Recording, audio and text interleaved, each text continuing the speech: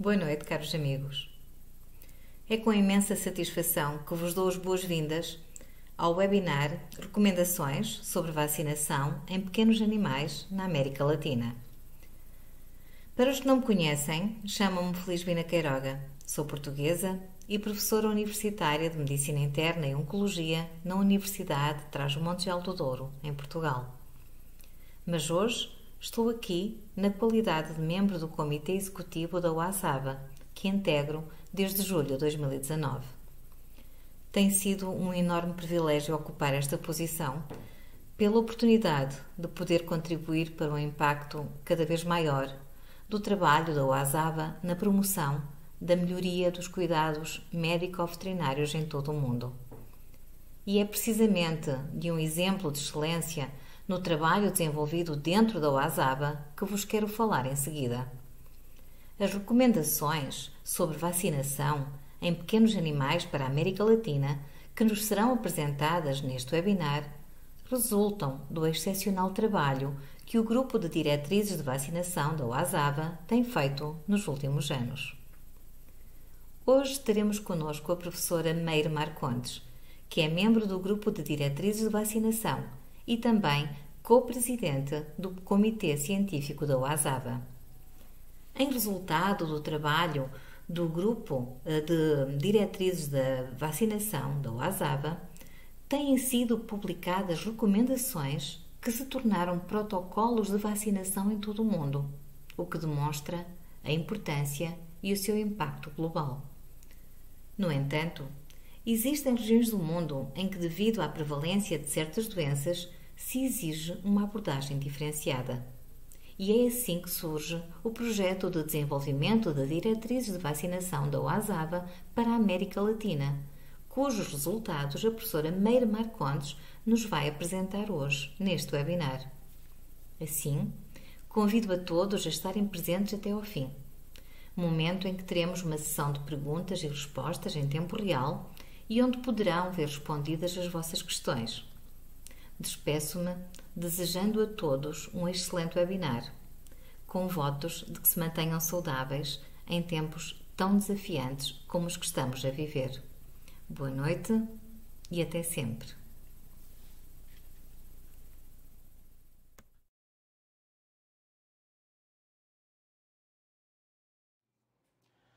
Muito boa noite a todos. Sou Andrei Nascimento, médico veterinário e diretor regional de marketing para a América Latina da MSD Saúde Animal. Essa é uma noite muito especial para nós da MSD, porque a prevenção das principais doenças dos animais de estimação e a educação continuada do médico veterinário são os nossos maiores compromissos, e nós iremos falar muito sobre isso aqui hoje. Enfim, acreditamos que podemos ajudar a melhorar o conhecimento imunológico que está por trás da vacinação e, através dele, promover as melhores práticas. E exatamente por acreditar nisso, que decidimos apoiar um grupo de diretrizes especializado, independente e que se baseie em evidências científicas para produzir conteúdo. Esperamos que esse documento científico possa ajudá-los a conhecer ainda mais as ferramentas que estão à sua disposição e que vocês as ofereçam da melhor forma possível aos seus pacientes. Muito obrigado e um bom evento a todos.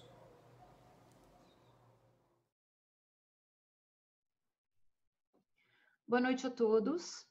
Inicialmente aqui eu gostaria de agradecer a presença de vocês, daqueles que estão nos assistindo agora, e agradecer também o apoio eh, da MSD Saúde Animal, que é um patrocinador diamante da UASAVA e que vem apoiando todos os trabalhos do VGG ao longo dos anos desde a sua instituição e que participou ativamente do projeto da América Latina apoiando as nossas atividades.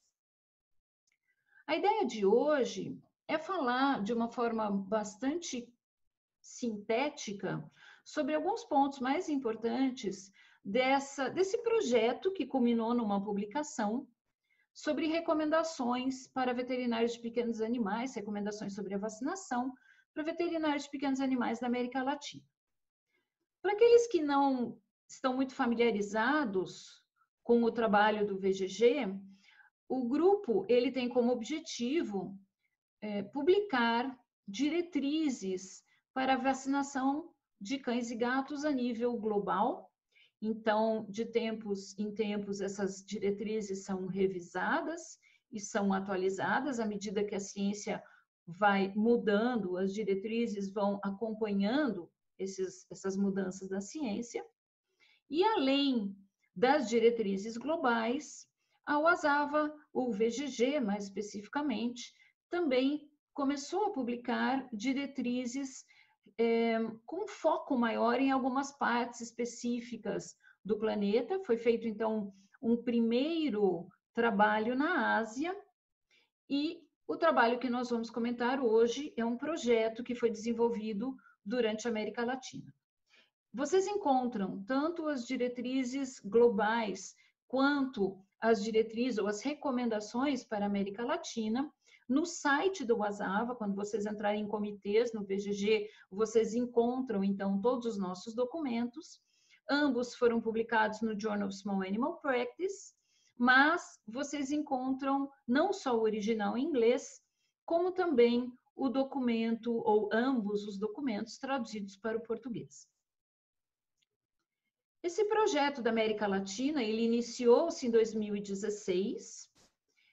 Nós passamos um tempo em 2016 viajando pela Argentina. Em 2017 nós estivemos no Brasil. Em 2018 nós estivemos no México. Em 2019 nós nos reunimos para é, escrever o documento que acabou sendo publicado então no início desse ano. Esse o grupo que redigiu então o documento do projeto da América Latina, foi presidido pelo professor Michael Day, que infelizmente nos deixou no início desse ano, logo após eh, a publicação então do documento final. Professor Michael Day, ele era australiano e tinha também cidadania britânica, onde ele morava ou morou durante 29 anos. Nós temos ainda no grupo o professor Richard Squires, da Austrália, a professora Cinda Crawford, dos Estados Unidos, e eu, do Brasil. Eu entrei, então, como um membro local, até para facilitar todo o entendimento e todo o processo aí do nosso, das nossas visitas da América Latina, mas acabei permanecendo como um membro oficial do grupo.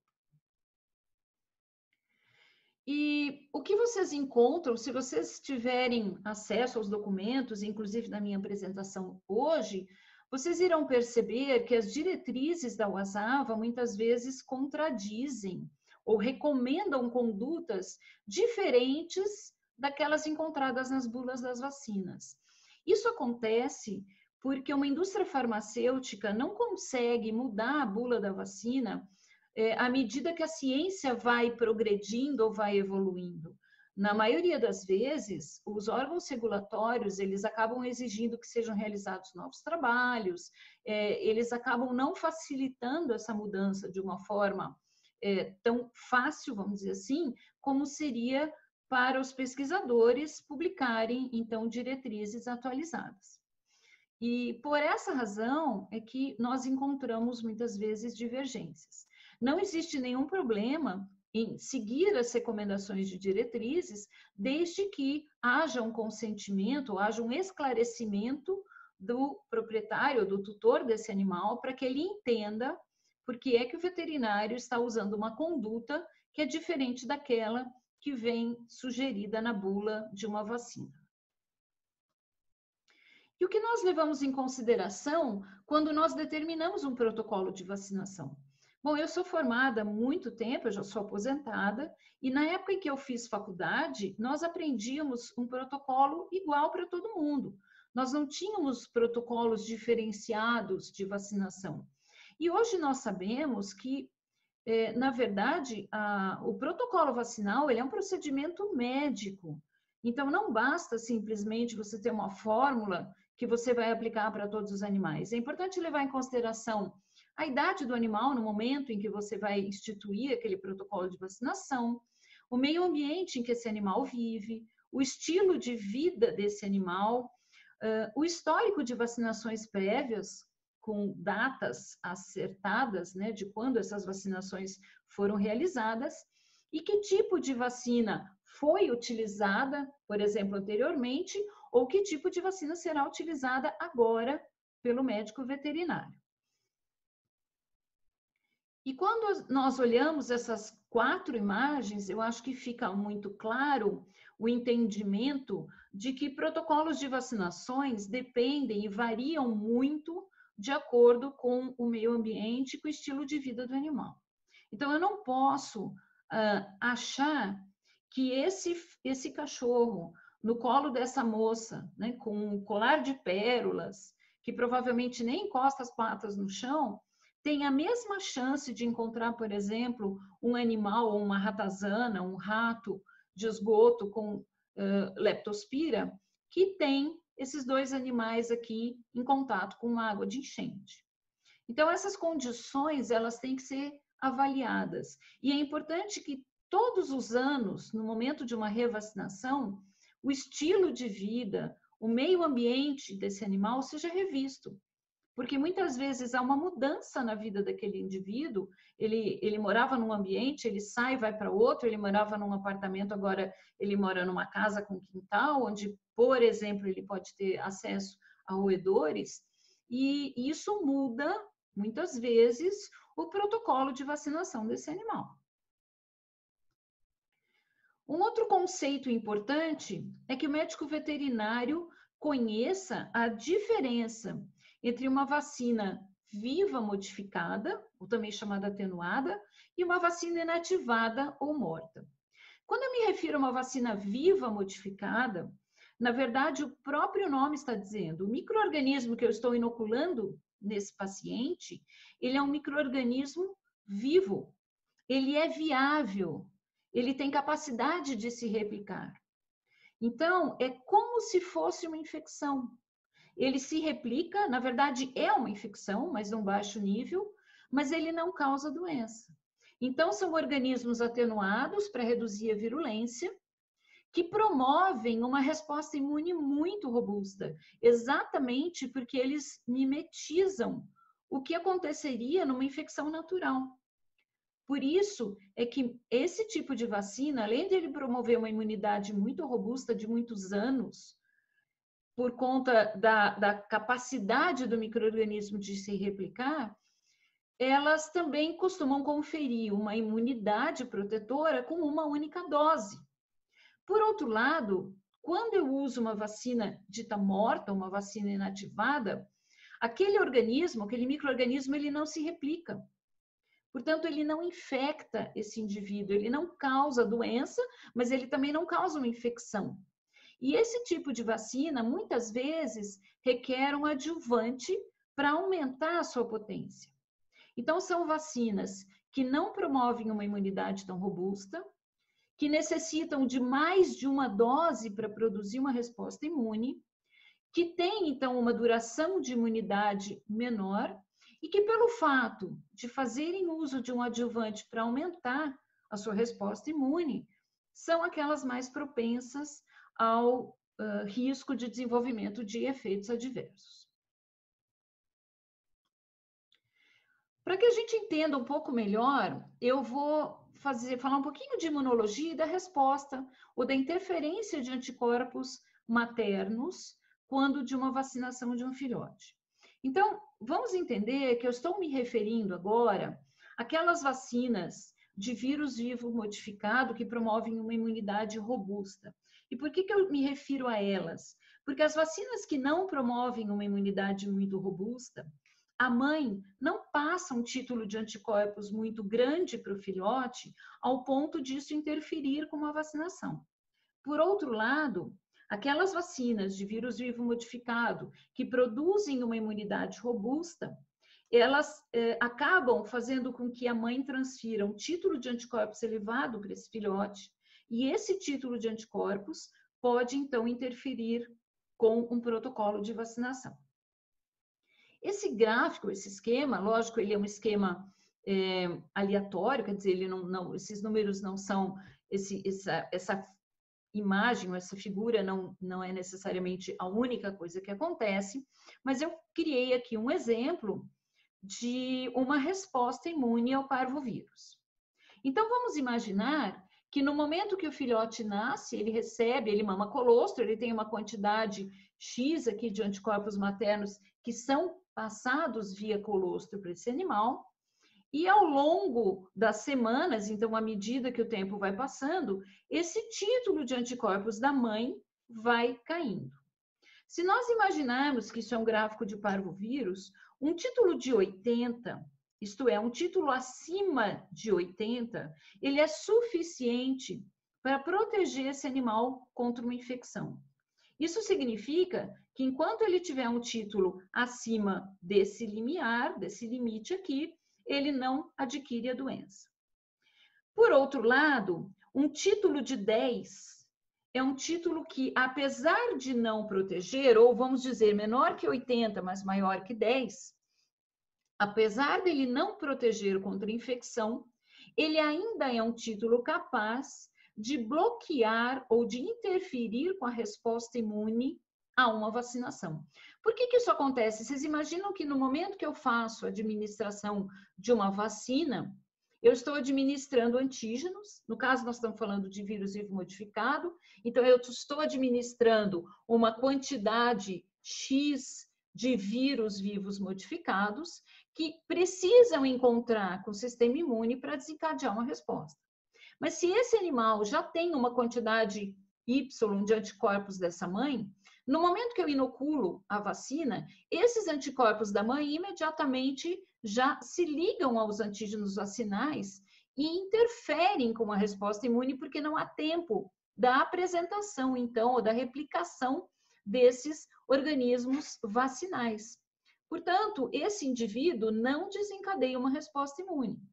No momento em que o título de anticorpos da mãe diminui a um nível, no caso da, do parvovírus abaixo de 10, eu consigo agora, eu não tenho mais anticorpos suficientes para interferir ou para se ligarem no antígeno vacinal, e a partir daí eu faço então uma resposta imune uh, natural no filhote.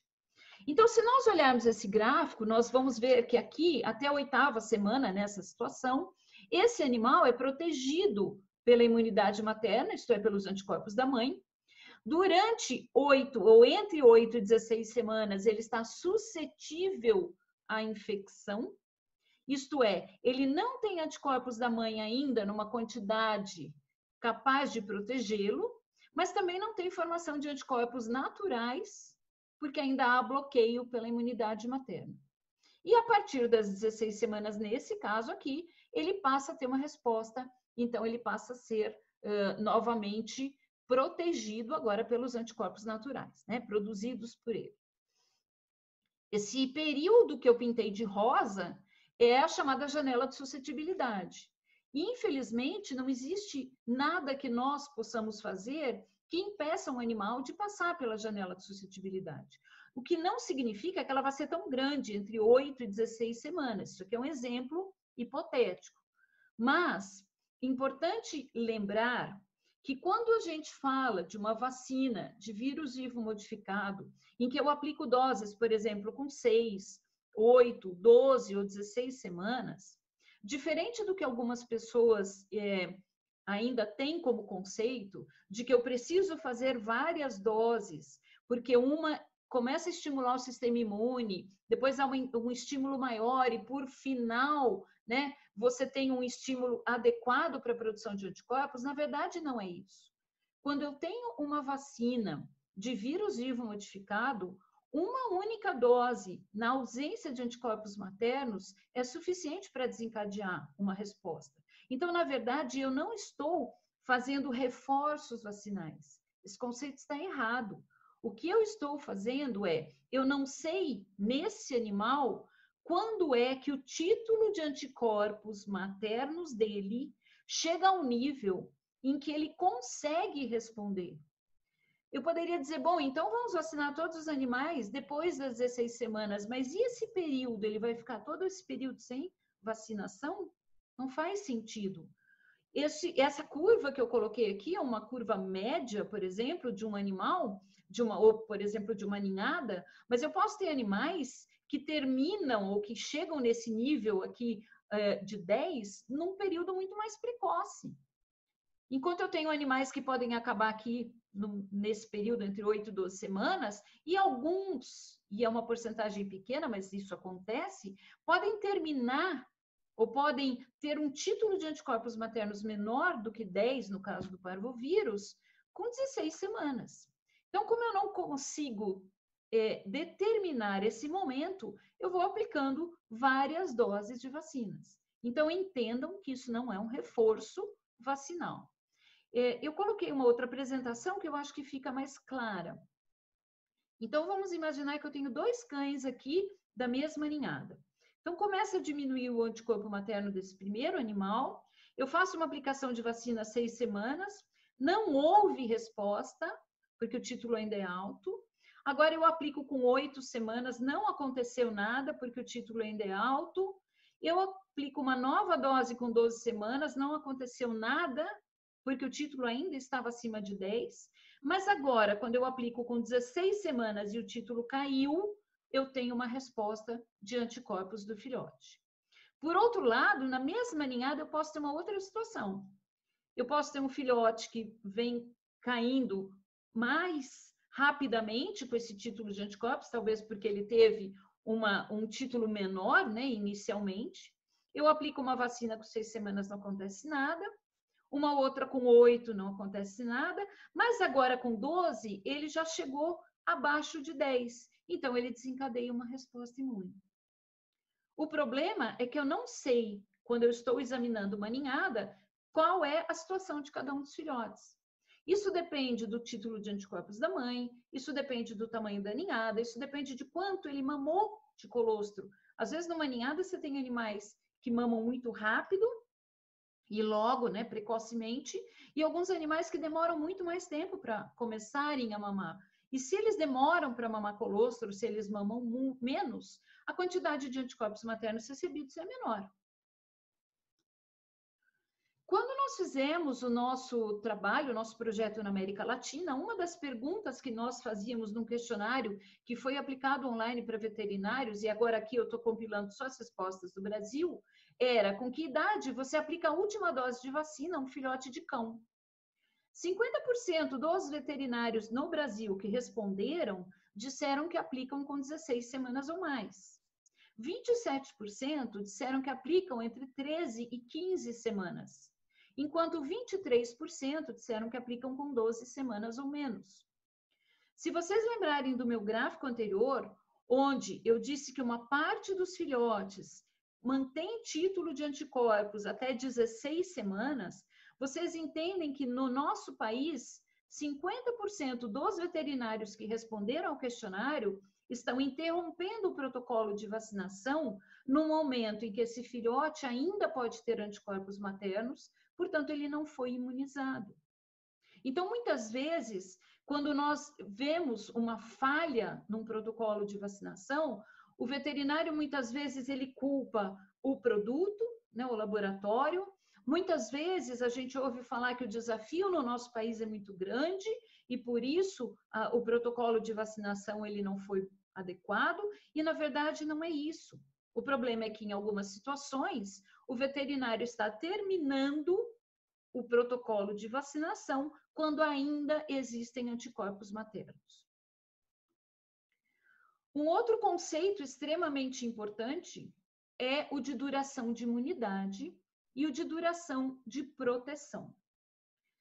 A duração da imunidade, ela é uma maneira que eu posso avaliar o quanto esse animal está protegido, dosando o título de anticorpos, por exemplo. Então, eu posso determinar IgG para parvovírus ou para o vírus da sinomose, e verificar após uma vacinação quanto tempo, quantos anos esse animal persiste, então, com esse nível de anticorpos. Por outro lado, quando eu falo em duração de proteção, eu, o que eu vou fazer é eu vacino um animal e eu desafio esse animal após algum tempo. E esse desafio pode ser uma inoculação experimental, eu posso simplesmente colocar esse animal numa situação é, de risco grande, por exemplo, num canil onde está acontecendo um surto de uma doença, dessas doenças é, é, que são que podem ser prevenidas por vacinação, e aí eu consigo avaliar, então, de duas formas a duração da imunidade, a duração da proteção. O que acontece é que quando nós usamos uma vacina que contém 9, 10, 12, 15 antígenos, e eu faço uma revacinação todos os anos nesses animais, eu estou querendo acreditar que o médico veterinário que faz isso, ele imagina que a duração da imunidade para cada um desses antígenos é de apenas um ano.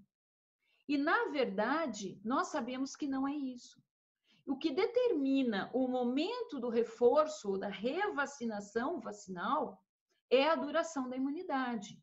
E a duração da imunidade não é de 12 meses para todos os antígenos presentes numa vacina múltipla, por exemplo. Esse trabalho é um trabalho de revisão do Dr. Ronald Schultz, e que é um imunologista que trabalha muito, né, muito com vacinas, e ele mostra nos estudos dele a duração de proteção e a duração de imunidade para diferentes vacinas de vírus vivo modificado, por exemplo. Então, quando nós pegamos os estudos dele com sinomose, com vacinas para sinomose, quando ele avalia vacinas que contêm a cepa Rockborn ou a cepa Snyder-Hill, ele verifica que a duração de proteção, isto é, de desafio, ela é maior que sete anos e a duração da imunidade, isto é, uma avaliação sorológica, ela é maior que 15 anos. Por outro lado, quando ele testa a onda Steport, ele verifica que a duração de proteção é maior que cinco anos e a duração de imunidade é maior que nove anos. Vocês vejam quanto tempo dura. E essas vacinas são as mesmas vacinas que vocês têm nas clínicas veterinárias de vocês, independente do laboratório. Por outro lado, quando ele avalia para adenovírus, ele verifica que o desafio, né, a duração de proteção por desafio é maior que sete anos e por sorologia é maior que nove anos. E para parvovírus, ele tem uma duração de proteção maior que sete e uma duração de imunidade maior que nove anos. E de quanto em quanto tempo nós, no Brasil, revacinamos os nossos pacientes para essas três doenças? Todos os anos. E por que nós fazemos isso? Nós fazemos a mesma coisa para os seres humanos? Por que é que nós não vamos a um centro de saúde, a um posto de saúde, a um centro de vacinação, todos os anos recebermos todas as vacinas que existem lá? Porque muitas delas nós tomamos quando crianças, ou nós recebemos quando crianças, e não precisamos mais. Nós levamos em consideração em humanos a duração da imunidade. Nós não levamos em consideração 12 meses para todas as vacinas. Não faz sentido nós fazermos isso com os nossos pacientes se nós mesmos não nos submetemos. Senão, nós teríamos que ir amanhã, todos a um centro de vacinação, receber vacina contra cachumba, catapora, sarampo, rubéola, febre amarela, tétano, raiva, e não é o que acontece. Então, se não acontece para o humano, por que nós fazemos a mesma coisa para os animais? Uma outra coisa muito importante é a classificação das vacinas em relação a essenciais, opcionais e não recomendadas. Eu gostaria de deixar bem claro que essa é uma classificação a nível global. Então, quando eu falo que uma vacina é essencial, significa que todos os cães e gatos do mundo inteiro, independente de onde eles vivam, precisam receber. Exemplo de vacinas essenciais para cães são sinomose, parvovirose e hepatite infecciosa canina. São vacinas com alta morbidade, com alta mortalidade e que então são consideradas essenciais porque independente da parte do mundo em que o animal viva, ele precisa receber. Por outro lado, vacinas opcionais ou não essenciais são aquelas que o médico veterinário vai definir se o animal precisa receber naquela localização geográfica. Então, são vacinas que nós decidimos utilizá-las dependendo do local onde o animal vive, do ambiente, do estilo de vida desse animal. Um exemplo, a vacina de leucemia felina ela é considerada mundialmente uma vacina opcional. Isto é, pode existir partes do mundo em que os animais não precisem receber. Mas, no nosso país, onde nós temos uma quantidade muito grande de casos de leucemia felina, ela pode ser considerada uma vacina essencial. Mas ela, globalmente, é considerada uma vacina opcional. E aquelas vacinas não recomendadas? São as que não têm evidência científica suficiente para justificar a sua utilização. Apesar de nós sermos parte, então, de nós sermos um grupo que de, determina diretrizes de vacinação para cães e gatos, a nossa ideia não é que todos os animais ou que as vacinas sejam a coisa mais importante dentro do protocolo aí de medicina preventiva para um animal. O que nós temos recomendado é que a vacinação ela seja parte de um check-up anual, como é feito em outras partes do mundo. Então, não basta que o animal venha à clínica veterinária uma vez por ano para receber um protocolo de vacinação. Esse animal ele deve vir uma vez por ano, sim, para que o, veterinário identifique o estado nutricional, se tem que modificar essa dieta, para fazer avaliação de controle de ecto e endoparasitas. Lembrem-se que muitas vezes nós temos pacientes que são adequadamente vacinados e que acabam vindo a óbito por erliquiose ou babesiose. Então, não adianta a gente pensar só em vacinação, nós temos que pensar em medicina preventiva de uma maneira geral. Então, avaliação hematológica e bioquímica, função renal em idosos, monitoramento de doenças crônicas, avaliação dentária e quais as vacinas que ele vai receber todos os anos. Na América Latina existe um conceito, né, uma, uma coisa muito enraizada de que é, a maior fonte de renda, muitas vezes, de uma clínica é a vacinação. Só que, na verdade, nós não estamos dizendo para que os proprietários não, não consultem o veterinário uma vez por ano para receber vacinas. Todas as vacinas que não são de vírus vivo modificado, ou as vacinas não essenciais né, também, elas precisam de revacinação anual. Mas as vacinas contra sinomose, parvovirose e hepatite infecciosa canina, por exemplo, não necessitam ser aplicadas todos os anos. Então, o proprietário vai levar esse animal sim a uma clínica para ser vacinado, mas ele deveria receber apenas as vacinações que de fato ele precisa, e não todas as vacinas que existem na face da Terra. As vacinas essenciais para cães são a vacina para sinomose, a vacina contra o adenovírus, a vacina contra o parvovírus e, no caso do Brasil, por conta da raiva, nós sempre incluímos como uma vacina essencial. Com relação, então, à sinomose, adenovirose e parvovirose, nós iniciamos o protocolo de vacinação entre seis e oito semanas de idade e repetimos a cada duas a quatro semanas, sempre com a última dose administrada com 16 semanas de idade ou mais por causa da, do que eu mostrei no gráfico para vocês, que uma parte dos animais pode manter anticorpos até 16 semanas. Eu posso repetir cada duas, cada três ou cada quatro semanas, e é lógico que dependendo do protocolo, né, que eu, do intervalo que eu for escolher, eu vou acabar tendo que administrar mais doses de vacinas para que eu conclua o meu protocolo com 16 semanas ou mais. Por outro lado, nós sempre ouvimos falar em reforço vacinal. Né? Então, que o animal precisa de um reforço quando ele tem 12 meses ou 12 meses após a última dose. É importante salientar que este, isso não é um reforço.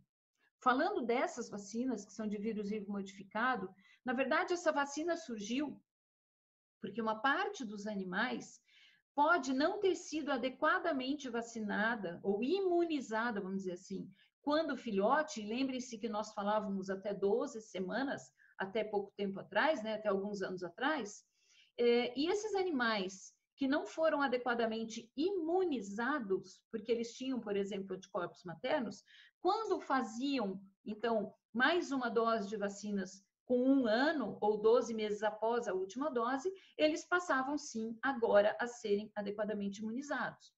Mas já desde 2015, o VGG mudou essa conduta, porque, na verdade, se nós queremos evitar que um animal adquira uma doença, e muitas vezes nós vemos animais com sinomose ou até com parvovirose com mais de quatro meses de idade ou após um protocolo, teoricamente, de vacinação completo, por que vamos esperar até um ano?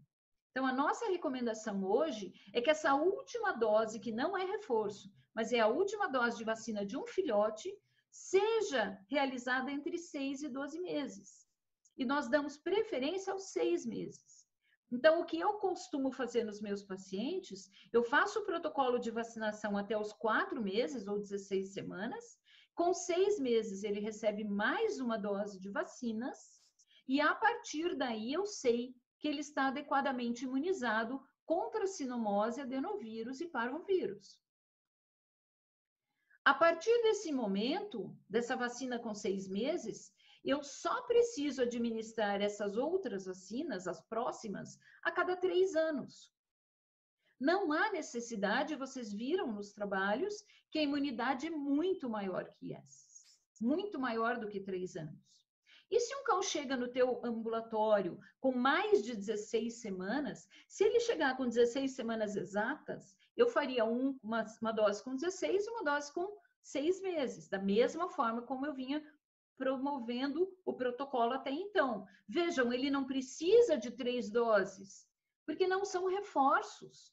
Não é uma dose que está estimulando a anterior. Nós estamos falando de vacina de vírus vivo modificado.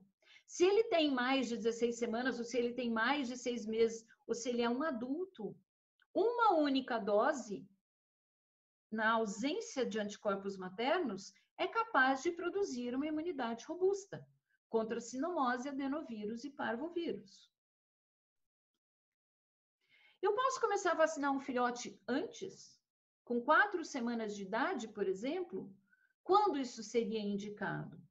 Bom, infelizmente, no nosso país, é, e na América Latina isso é uma cultura também, vende-se filhotes numa idade muito precoce. A gente vê animais com quatro semanas já sendo separados da mãe e sendo comercializados. Coisa que na Europa, por exemplo, é completamente proibido no, no, Reino Unido se você vacinar um cachorro, se você vender, desculpa, um cachorro, comercializar um cachorro com menos de oito semanas, é, o canil é fechado, o indivíduo vai pagar uma multa. Isso não existe no nosso país.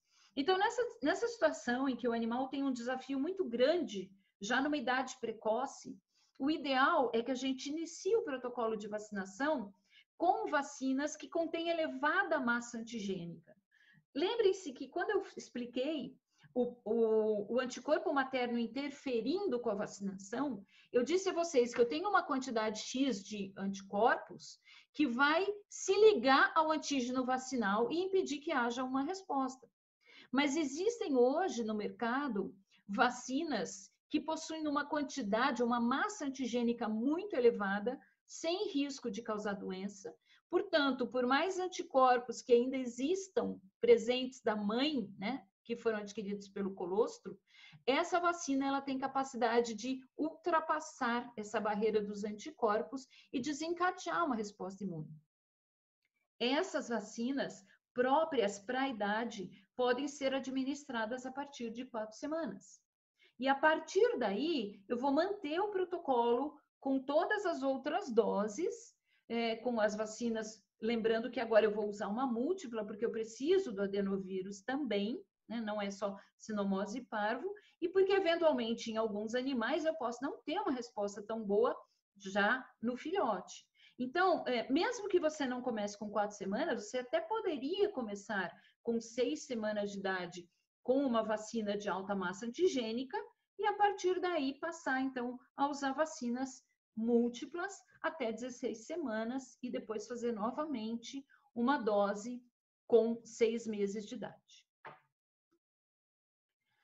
E algo que nos perguntam muito, né, para mim, nas minhas apresentações, é: no Brasil, nós temos um desafio muito grande de doenças infecciosas. Não é arriscado eu vacinar contra a sinomose e parvovirose a cada três anos? Um, um, uma, uma, uma coisa que às vezes os veterinários falam é, mas aí o tutor, se já não vem nunca, ele vai esquecer. Não. Se você tem um paciente, veja, nós, nós estamos falando de indivíduos que vão ao médico veterinário. Se você tem um paciente que é seu, você pode lembrá-lo de que a cada três anos ele precisa receber essas vacinas. E no intervalo dos três anos, ele vai voltar para a clínica para receber as outras. Nós estamos falando exclusivamente, no caso do cão, de sinomose, parvo e hepatite. É arriscado porque nós temos um desafio muito grande e eu respondo essa pergunta com uma outra pergunta. Se eu tenho um médico, um infectologista, que trabalha, por exemplo, no Hospital Emílio Ribas, que é um hospital de referência para doenças infecciosas no Brasil, esse indivíduo recebe mais vacinas do que nós, meros mortais?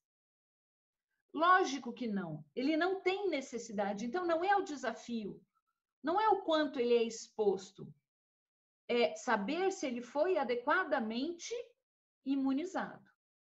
Se esse indivíduo foi adequadamente imunizado, esse indivíduo não corre risco porque ele está num, num local onde existe um desafio muito grande.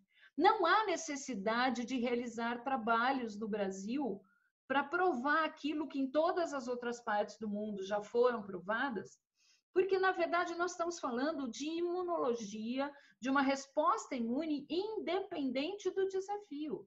É lógico que eu não estou me referindo a um cão, por exemplo, que vive dentro de um abrigo, um cão de rua, um cão que não se alimenta, eu estou me referindo a cães que vão a uma clínica veterinária.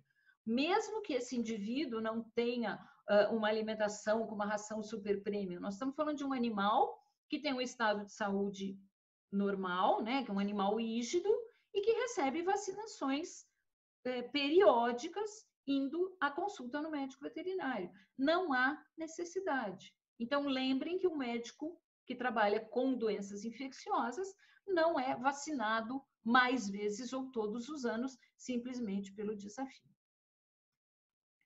E o que nós deveríamos fazer no nosso país é pensar em imunidade de rebanho. Infelizmente, o veterinário ganha muito dinheiro em cima de vacinas na América Latina, porque o lucro é muito grande e ele acaba não permitindo que tutores ou que proprietários que tenham poder aquisitivo menor adquiram essas vacinas. Se o indivíduo ganhar menos na vacina e vacinar mais animais, ele com certeza vai ajudar a formar o que nós chamamos de imunidade de rebanho, onde você tem alguns animais que infelizmente não podem ser vacinados ou que não o proprietário opta por não vacinar, mas que passam a ser protegidos por aquela quantidade grande de pacientes que agora possuem uma imunidade. E a gente fala muito disso hoje por causa da Covid-19. Com relação à vacina contra a raiva, nós podemos iniciar a vacinação no filhote a partir de 12 semanas de idade uma única dose é suficiente. No caso do adulto, uma única dose também é suficiente para um adulto que nunca tenha recebido uma vacina antes. E a revacinação no Brasil, ela é preconizada a cada 12 meses, apesar de que as mesmas vacinas licenciadas no Brasil com uma duração de imunidade de um ano são é, comercializadas em outras partes do mundo com uma duração de imunidade de três anos. As vacinas opcionais, como eu já havia comentado, são aquelas que o veterinário vai fazer escolha, isto é, o animal precisa ou não precisa receber. São elas para cães a de parainfluenza, bordetela bronquicéptica, leptospirose e leishmaniose. Então, a vacina de parainfluenza, no caso de uma vacina parenteral, tanto para filhotes quanto para adultos, é o mesmo protocolo das vacinações essenciais, isto é, são vacinas de vírus vivo modificado, então tudo que eu falei para parvo, sinomose e hepatite serve para parainfluenza. Na ausência de anticorpos maternos, uma única dose é suficiente para imunizar e a revacinação é anual. Já a bordetela bronquicéptica, nós não estamos falando agora de uma vacina viva, né? Nós estamos falando de uma vacina de um microorganismo morto, Portanto, eu preciso de duas doses para desencadear uma resposta imune. Agora sim, nós usamos o termo reforço vacinal. Inicia-se a vacinação a partir de seis a oito semanas E o adulto que nunca recebeu vacinação antes também precisa de duas doses. Então, lembrem, não é vacina de vírus vivo modificado, duas doses são necessárias. E a revacinação, então, pode ser anual ou mais frequente. O que acontece é que existe um consenso, e isso não é só do, do, no guidelines do ASAVA, mas outros eh, grupos, inclusive o Colégio Americano de Veterinários Pequenos Animais e o europeu, eh, existe um consenso de que as vacinas de mucosa, no caso de doenças do complexo respiratório infeccioso canino, elas são a melhor opção. No Brasil, no momento, nós temos apenas a intranasal. Em algumas outras partes do mundo existe, além da intranasal, uma vacina oral. A vantagem dessas vacinas é que elas promovem imunidade local e que elas já podem ser administradas a partir de três semanas de idade. A revacinação é anual dependendo do grau de exposição, pode até ser um, um, uma vacinação mais precoce, um intervalo menor, né? Por exemplo, animais que vão para hotéis, animais que vão viajar, animais que são expostos, agora em exposições de cães, por exemplo, né? E a vantagem, então, é que você aplicando uma vacina dessas, 72 horas após, você já tem uma resposta imune adequada. Então, não há interferência de anticorpos maternos e elas podem ser usadas já bem precocemente. Com relação à leptospirose, nós indicamos o início da vacinação a partir de oito semanas, com uma segunda dose de duas a quatro semanas depois. Lembrando, é vacina de vírus vivo modificado? Não, portanto, eu preciso de duas doses. Adulto que nunca recebeu a vacinação também necessita de duas doses. Antigamente, nós dizíamos que em áreas de muito desafio seria necessária uma vacinação semestral. Não existem hoje evidências científicas comprovando essa necessidade, portanto, a recomendação é de revacinação anual contra a leptospirose.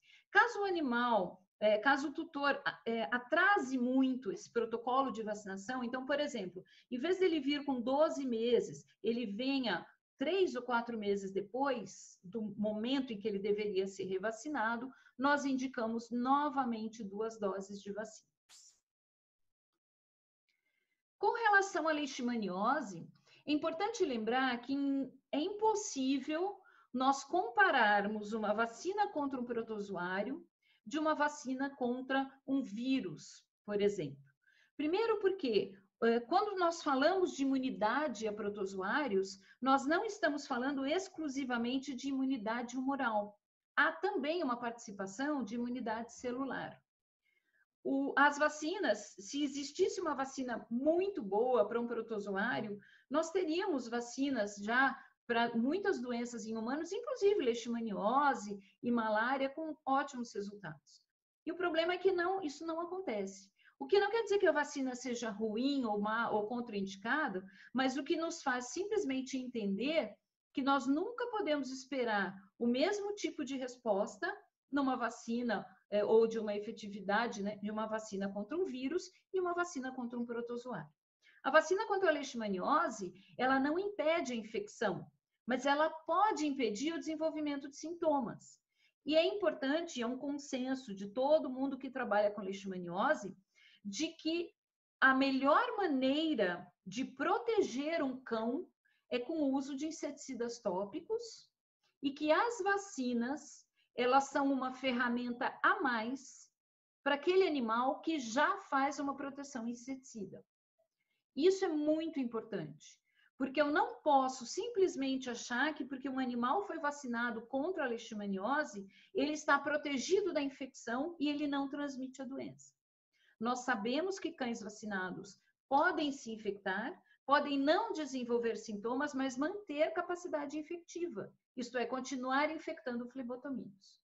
Então, é importante que a vacina seja usada sim, mas como uma ferramenta a mais em um animal que já faz uso de inseticidas. A dose inicial é a partir de quatro meses da vacina que nós temos no nosso país, três doses com intervalos de 21 dias e revacinação é anual. Com relação às vacinas recomendadas, não recomendadas, desculpe, nós temos a vacina contra a coronavirose, e a vacina contra a giardia. Então, vamos falar um pouco do coronavírus. Quando, inici... quando nós descobrimos o coronavírus, né, quando ele foi é, inicialmente identificado, é, o coronavírus entérico canino, acreditava-se que ele pudesse ter a mesma importância do parvovírus. Mas à medida que a ciência foi evoluindo, nós fomos vendo que o coronavírus não é tão importante. E conhecendo a patogenia da doença, nós entendemos melhor hoje qual é o mecanismo, como o, o coronavírus chega ao intestino e que tipo de anticorpo está envolvido na resposta imune a esse vírus. Então, o parvovírus, quando ele entra no organismo, e ele faz, entra pela cavidade oral, por exemplo, ele vai fazer uma viremia para depois ele chegar ao intestino. Por outro lado, o coronavírus não faz viremia. Ele vai da cavidade oral para o esôfago, para o estômago e para o intestino.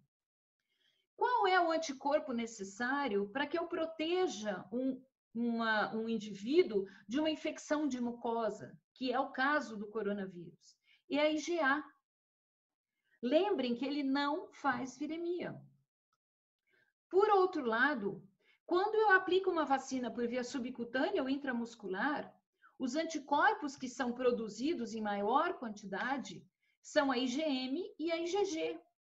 Mas se esse coronavírus não faz viremia e eu estou produzindo anticorpos tipo IgM e IgG na circulação, eu estou produzindo anticorpos em grande quantidade num local onde eles nunca vão encontrar com o coronavírus. Esse é o primeiro motivo para que não haja indicação de vacinas contra a coronavirose subcutânea ou intramuscular. Um outro ponto de extrema importância é que o coronavírus ele é, ele é encontrado em animais rígidos tanto quanto em animais doentes. Isto é, o fato de eu encontrar um coronavírus nas fezes de um cão não significa necessariamente que ele ali esteja causando diarreia. Hoje nós sabemos que a coronavirose é uma doença que pode causar um quadro diarreico num animal jovem, mas sem maiores problemas, e que no animal adulto a infecção quase sempre é assintomática. Pode haver uma complicação se houver um coronavírus e um parvovírus? Sim, mas para isso eu estou vacinando contra o parvovírus. Esse trabalho, cujo primeiro autor é o Decaro, que é o autor eh, do livro do Ettinger, que trabalha muito com essas eh, viroses eh, gastrointestinais, ele mostra que numa infecção natural por coronavírus, o nível de IgA determinado agora é, na, nas, nas fezes, né? Ele no momento zero, antes da infecção, ele era 0,04 e 28 dias após a infecção natural, ele passou a ser nível de 0,4. Por outro lado, quando são administradas ou quando foi administrada uma vacina intramuscular, o nível de 005 passou a 006, isto é, praticamente diferença nenhuma. Já quando ele faz a administração de uma vacina por via oral, o nível de 002 subiu para 0,3, demonstrando que uma vacina aplicada no local da infecção, sim, estimula a produção de IgA que é o anticorpo necessário para a proteção. Então, por que, que a gente não tem vacinas orais contra a coronavirose? Porque, na verdade, hoje nós sabemos que não é uma doença importante. Esse trabalho é um estudo que nosso grupo de pesquisa fez há uns anos atrás, onde nós identificamos que não houve diferenças estatisticamente significativas entre a quantidade de coronavírus em animais com diarreia e em animais de grupo controle, isto é, animais rígidos. E este daqui é um outro trabalho, que não é do nosso grupo de pesquisa, onde eles identificaram mais coronavírus em animais rígidos do que em animais com diarreia. Demonstrando, então, que quando eu faço um teste rápido e encontro um coronavírus nas fezes, isso não significa que ele é o agente causador da diarreia. A outra vacina, que é considerada não recomendada, é a vacina contra a giardia. Então, da mesma forma que nós falamos agora do coronavírus, que ele tem necessidade agora de uma resposta do tipo IgA, o mesmo acontece em relação à giardia. Então, nós temos aqui um, uh, a presença de trofozoítos no intestino, no intestino desses animais, que acabam sendo eliminados como forma de cistos. Esse trabalho, esse estudo, ele é um, uma revisão, uma atualização sobre a imunidade da giardia, e ele mostra claramente aqui que eu tenho como mecanismo de defesa numa infecção por giardia, primeiro a barreira natural, né? seja pelo muco, pela peristase, pelas proteínas e pelas enzimas que estão ali no local. Depois eu tenho a resposta da imunidade inata, que acontece em qualquer infecção. E, finalmente, eu tenho uma resposta imune desencadeada por células T, mas uma resposta de anticorpos do tipo IgA, que é a resposta imune adaptativa. Eu disse a vocês que, deixa eu voltar um minuto, desculpa. Eu disse a vocês que quando eu aplico uma vacina por via subcutânea ou intramuscular, eu praticamente não tenho a produção de imunoglobulina A. Não existe na literatura nenhum trabalho demonstrando que vacinas contra a giardia conseguem produzir IgA ao ponto de, por exemplo, se ligarem nos eh, trofozoítos ou envolverem esses cistos para que esses cistos saiam, então, eh, no meio ambiente envoltos por anticorpos e dessa forma que eles não sejam viáveis. Não existe nenhuma literatura demonstrando isso. Então, na verdade, se nós fôssemos pensar numa resposta imune ou numa, numa vacina contra a giardia, eu não deveria estar usando uma vacina eh, por via parenteral, mas eu precisaria de uma vacina que fosse administrada por via oral.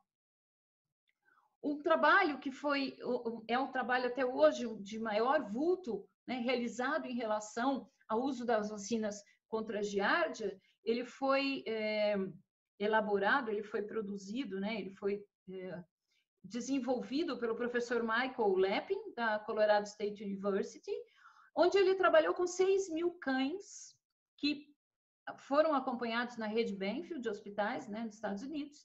Eram cães com menos de seis meses. Todos esses cães haviam recebido as vacinas essenciais. 3 mil cães foram vacinados contra a giardia com duas doses e 3 mil cães não foram vacinados. E esses animais foram acompanhados durante um período de 2 a 12 meses.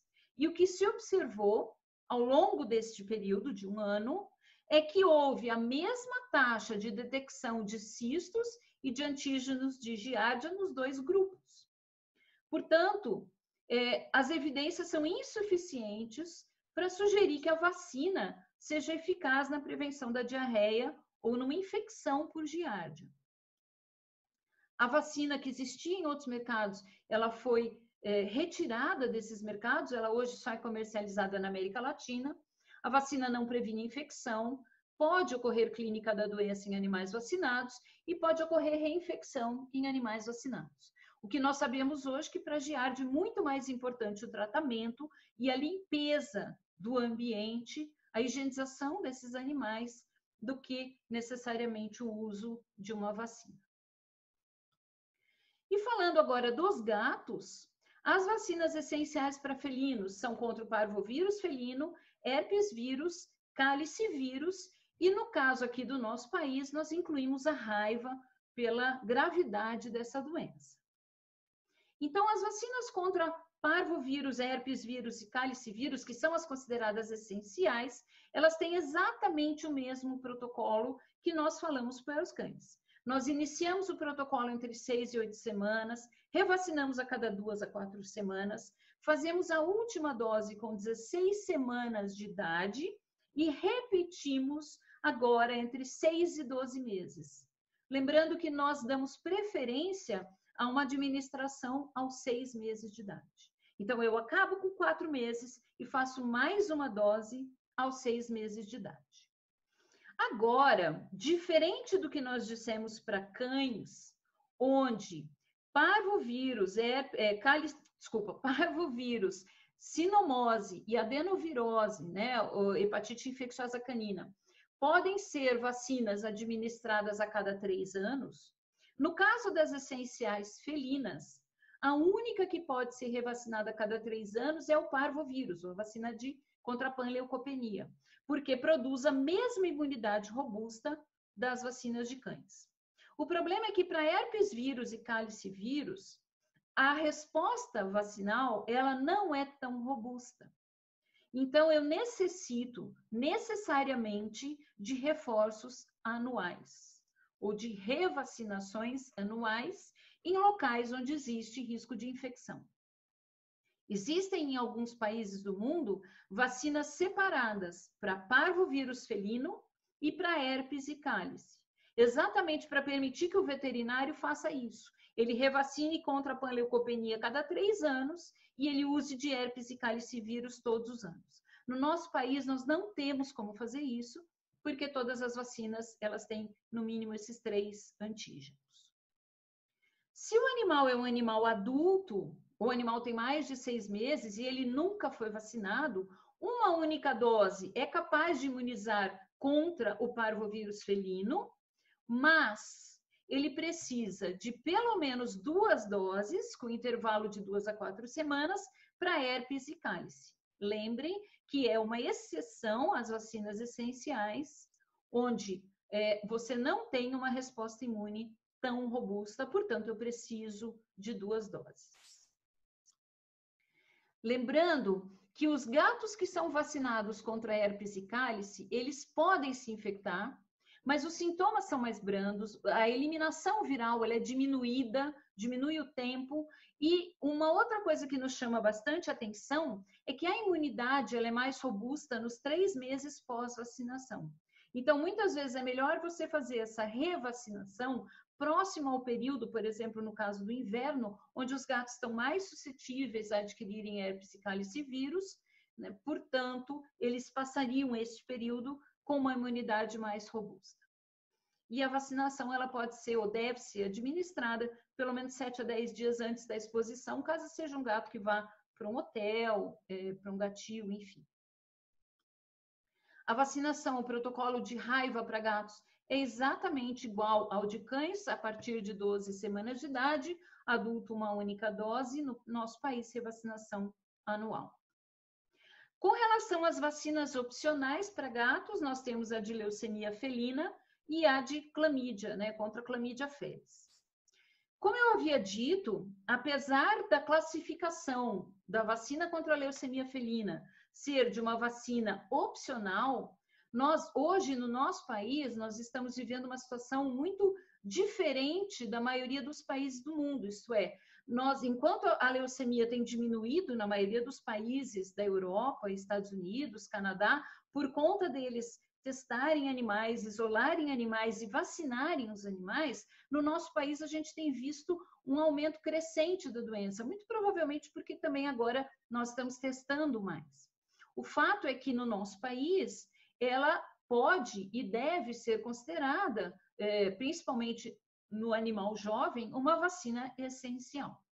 É importante lembrar que a vacina não protege contra a infecção, mas ela pode prevenir a replicação viral e o desenvolvimento dos sintomas.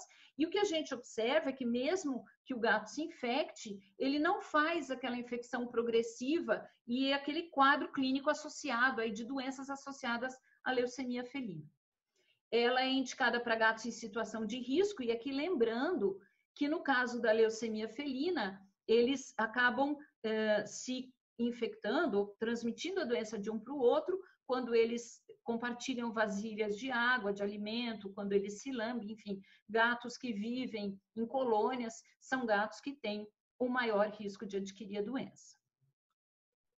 Então, a conduta, nossa conduta tem sido a nossa recomendação de vacinar todos os gatos com menos de um ano de idade, porque você não sabe o tipo de vida, o estilo de vida que ele vai ter. Então, são duas doses da vacina contra a leucemia viral felina a partir de oito semanas e revacina-se esse gato após um ano. A partir daí, você, o médico veterinário vai definir se esse gato precisa se manter sendo vacinado ou não, dependendo então do risco de exposição. No caso, então, da leucemia viral felina, o risco ele está relacionado principalmente à idade. Gatos mais velhos têm menos suscetibilidade a adquirir a doença, mas se é um animal que sai, que vai para a rua, que tem contato com outros gatos, é importante manter esse protocolo de vacinação. Se é um animal que vive num apartamento, no 18º andar de um prédio, não sai nunca, ou só vai à clínica uma vez por ano para receber vacinas, ele talvez não seja um candidato após uma certa idade a continuar recebendo a vacina.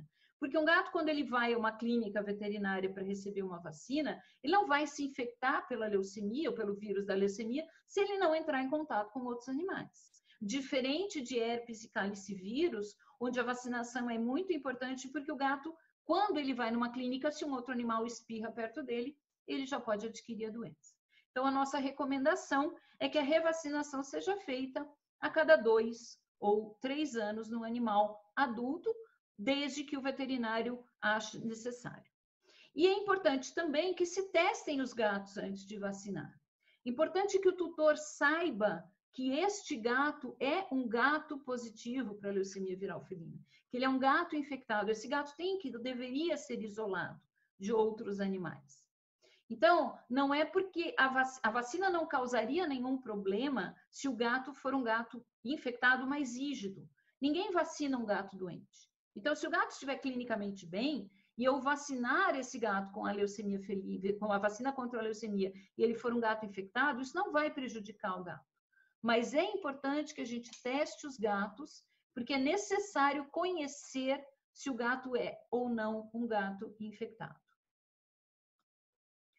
Com relação à clamídia felis, o início do protocolo de vacinação ele pode ser feito a partir de nove semanas. Também são duas doses, com intervalo de duas a quatro semanas, e a revacinação é anual principalmente para gatos que vivem em colônias, para gatos que têm uma exposição a outros gatos, né? E que, portanto, têm maior chance de adquirir a clamídia.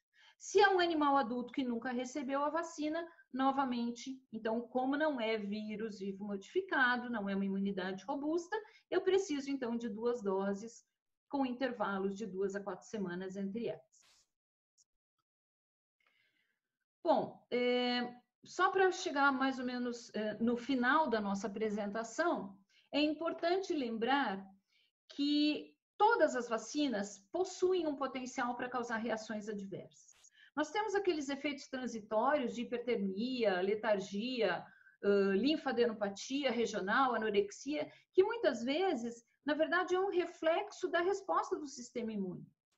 Mas, por outro lado, nós, nós temos uma resposta fisiológica, eu quero dizer, né? Por outro lado, nós temos aquelas reações alérgicas que muitas vezes podem ser reações graves, como hipersensibilidade do tipo 1, angioedema, anafilaxia, e as doenças autoimunes, que muitas vezes vêm em decorrência de uma vacinação, como anemia hemolítica imunomediada, trombocitopenia imunomediada, poliartrite, polineurite.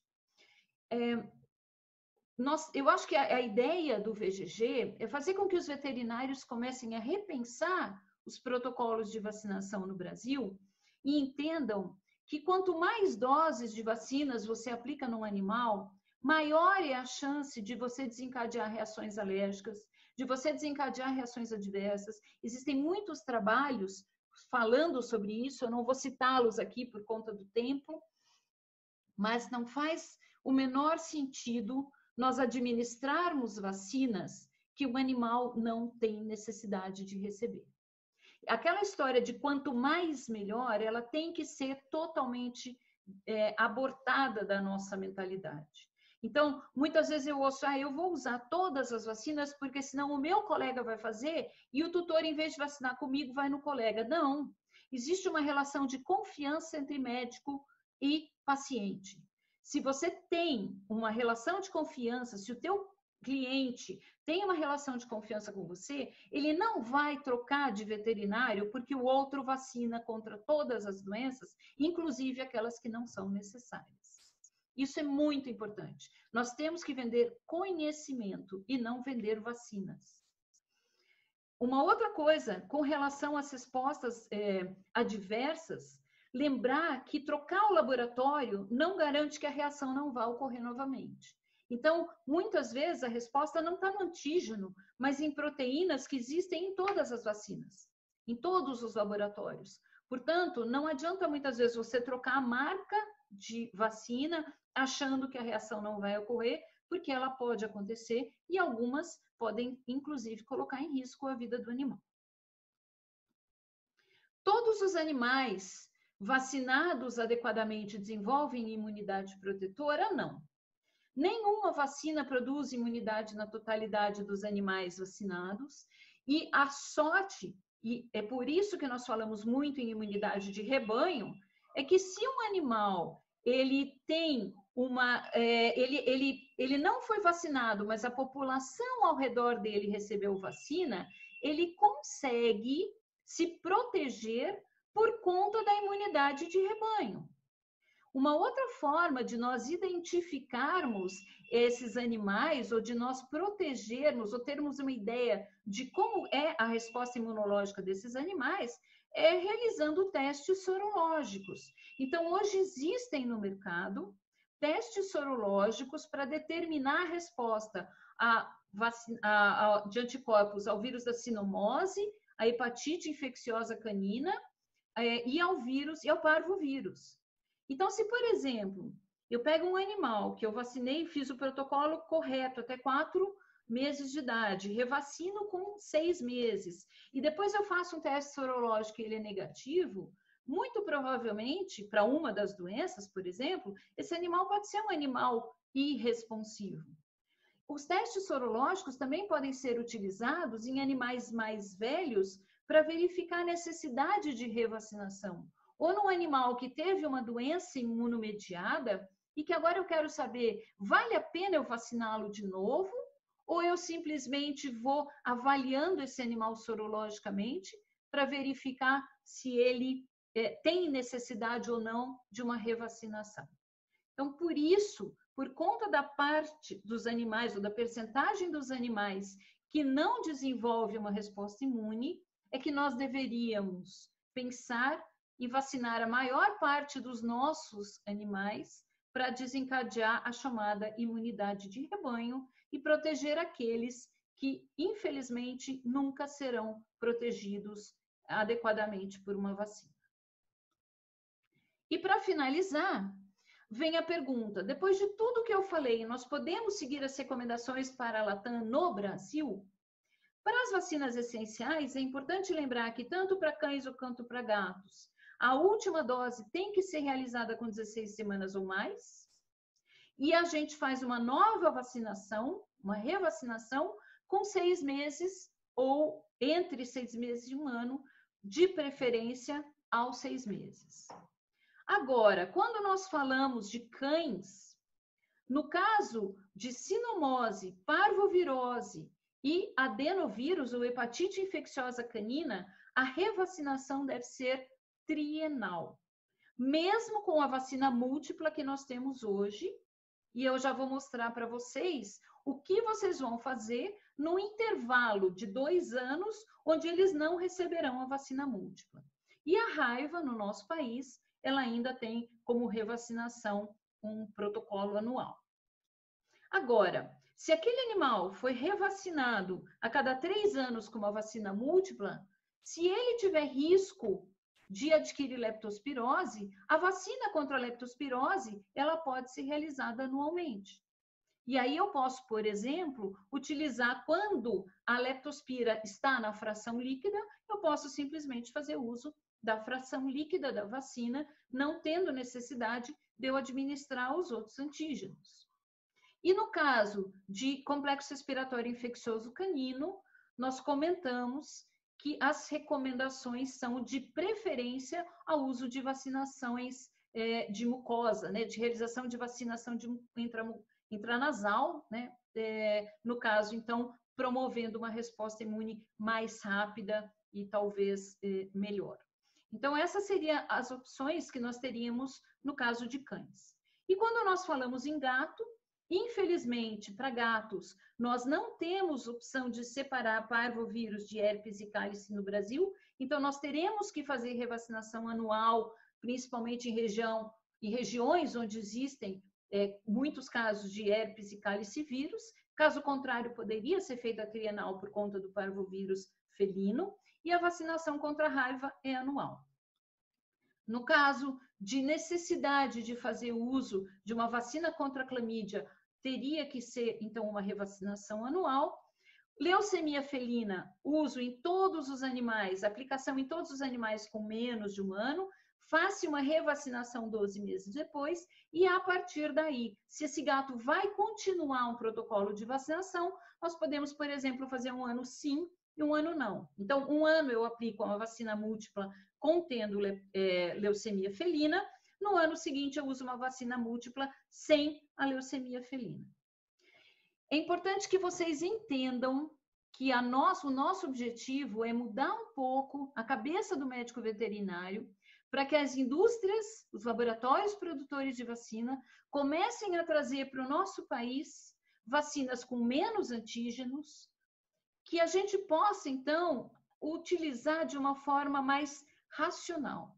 Se nós pegarmos as vacinas que são comercializadas hoje no Brasil e tentarmos utilizá-las nos Estados Unidos ou na Europa, com certeza o médico veterinário não vai usar, porque ele não vai fazer uso de uma vacina contendo inúmeros antígenos, sendo que o animal só precisa de alguns. Então, essa ideia, essa semente que a gente tenta colocar na, na cabeça dos médicos veterinários. Vamos começar a mudar um pouco a nossa mentalidade para que nós possamos, ao longo do tempo, fazer com que essas indústrias, esses laboratórios, tragam para o nosso país vacinas com menos antígenos, para que nós possamos separar vacinas essenciais de vacinas opcionais. Era isso que eu tinha a apresentar. Gostaria de agradecer imensamente a presença de todos.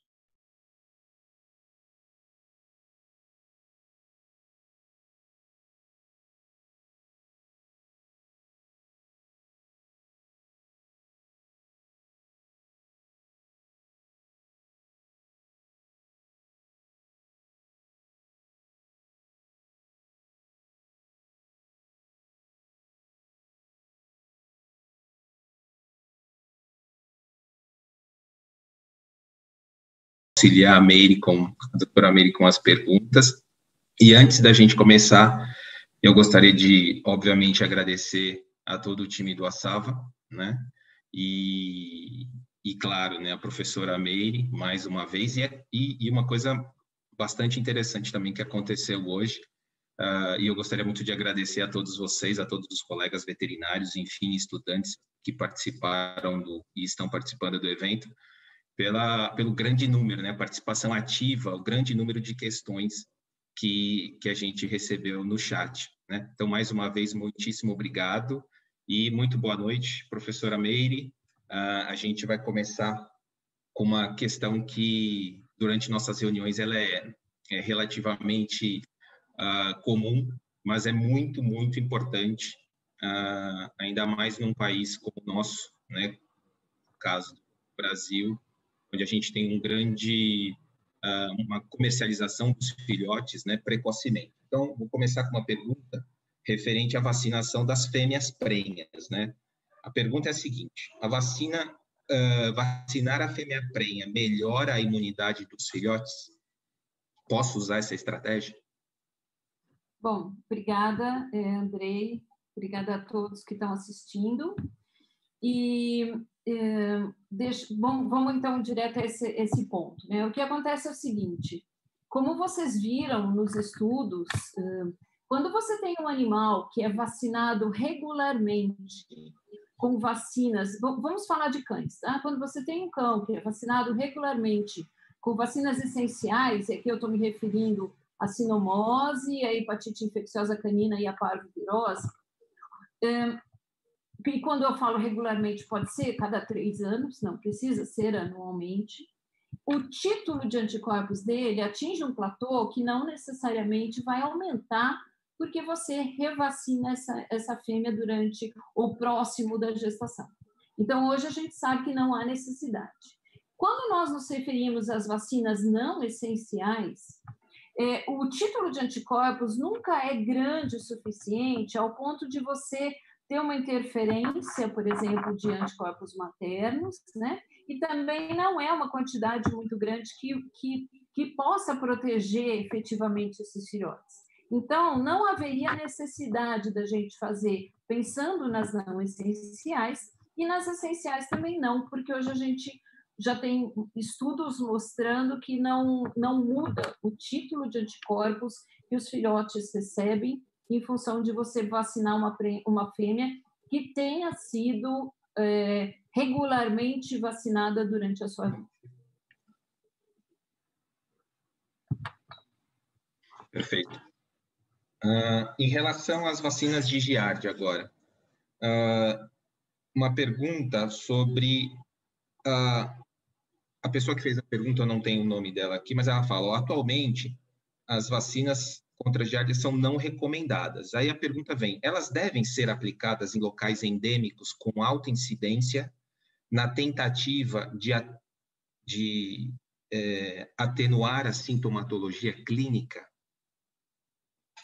Bom, é, o, que, o que a gente se baseia muito são é, nos estudos, né, principalmente é, nesse estudo grande que eu mostrei para vocês, do professor Michael Lepman, e, na verdade, é, existe um, um consenso em, em, entre quem trabalha com giardia que na, a melhor maneira de você prevenir, a melhor maneira de você trabalhar quando você tem um, um problema de giardias numa, numa, num canil ou em alguma situação assim, é tratar os animais que estão doentes, e isso é o mais importante, quer dizer, o, o ponto principal de um animal com clínica é você fazer o tratamento, e com relação ao meio ambiente, é você cuidar da higienização. Então, nós recomendamos muito sempre limpar esse animal é, quando ele defeca, por exemplo, se ele tiver matéria orgânica ali, né, material, desculpa, fezes ali retidas próximo à região perianal, para que ele não fique contaminando o ambiente. É, a, o canil e todas essas estruturas elas devem ser limpas com compostos de amônio quaternário. E hoje a gente sabe que isso é a melhor maneira de você lidar com o processo aí, com causas ou com situações importantes de giardias, é o tratamento dos animais doentes e a higienização. Então, a nossa recomendação é de que não há necessidade de você fazer uso da vacina com esse objetivo. Na verdade, a recomendação é que não há necessidade do uso da vacina.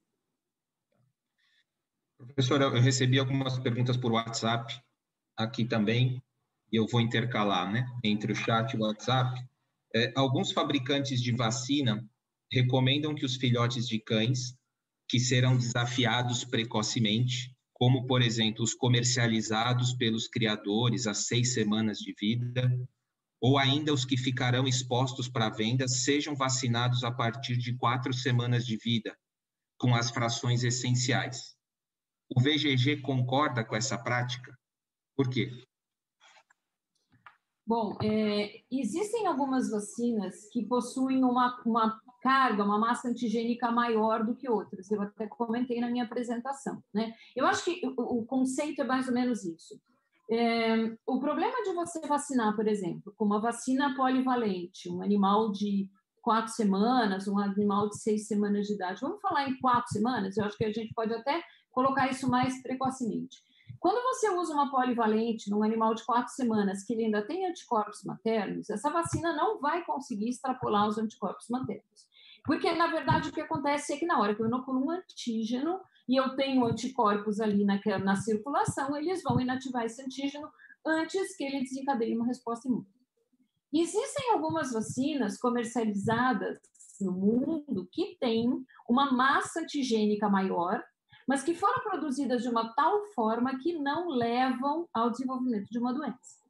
Então, se eu tenho uma massa antigênica maior, eu consigo extra, ah, passar, ultrapassar a barreira dos anticorpos maternos, porque eles vão, é, eles vão se ligar a uma parte desses antígenos, mas vai haver antígeno suficiente livre para desencadear uma resposta imune. Então, nessa situação, o VGG concorda que em situações onde os filhotes são desafiados ou os filhotes são comercializados muito cedo ou que eles estão em exposição muito cedo, que é contra o nosso, o que a gente recomenda, mas que a gente sabe que acontece muito na América Latina, é, seja feita a utilização dessas vacinas.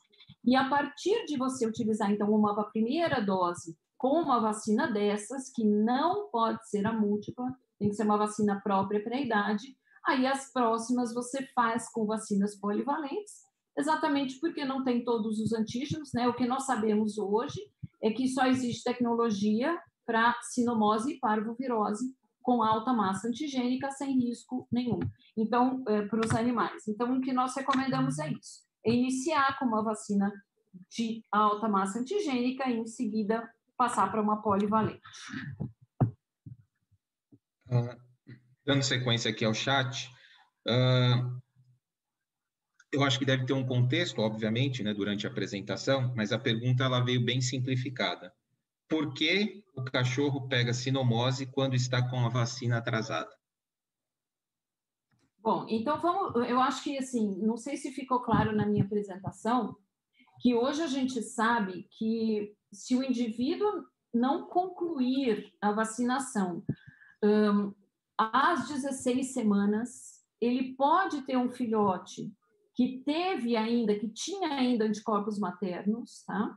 Então, nessa situação, é, aquele animal que não foi adequadamente vacinado, isto é, até 16 semanas, ele pode manter anticorpos maternos. Então, essas vacinas, elas não tiveram o, o, o efeito desejado, isto é, elas não imunizaram, e ainda assim é bastante raro, mas eu posso ter uma porcentagem desses animais que com 17, 18 semanas ainda mantém anticorpos. Já tem estudos mostrando que às vezes você tem animais com 20 semanas com anticorpo materno. Então, por isso que o VGG recomenda que com 26 semanas nós façamos mais uma dose. Então, quando o indivíduo fala para mim, ah, a vacina estava atrasada e ele adquiriu sinomose, provavelmente o que eu entendo é que esse é um animal que não foi adequadamente imunizado quando filhote. Se ele foi adequadamente imunizado quando filhote, um atraso de algum tempo não teria justificativa para ele adquirir a doença. E uma coisa que nós temos que levar em consideração é várias, né? Eu, eu, é, primeiro, quando você vacina um animal que tem uma temperatura aumentada, corpórea aumentada, mesmo que ele não esteja doente, isso pode inativar parte dos vírus, principalmente da sinomose, que é vírus vivo modificado. Uma outra coisa que se fala muito é o uso do álcool no local da aplicação.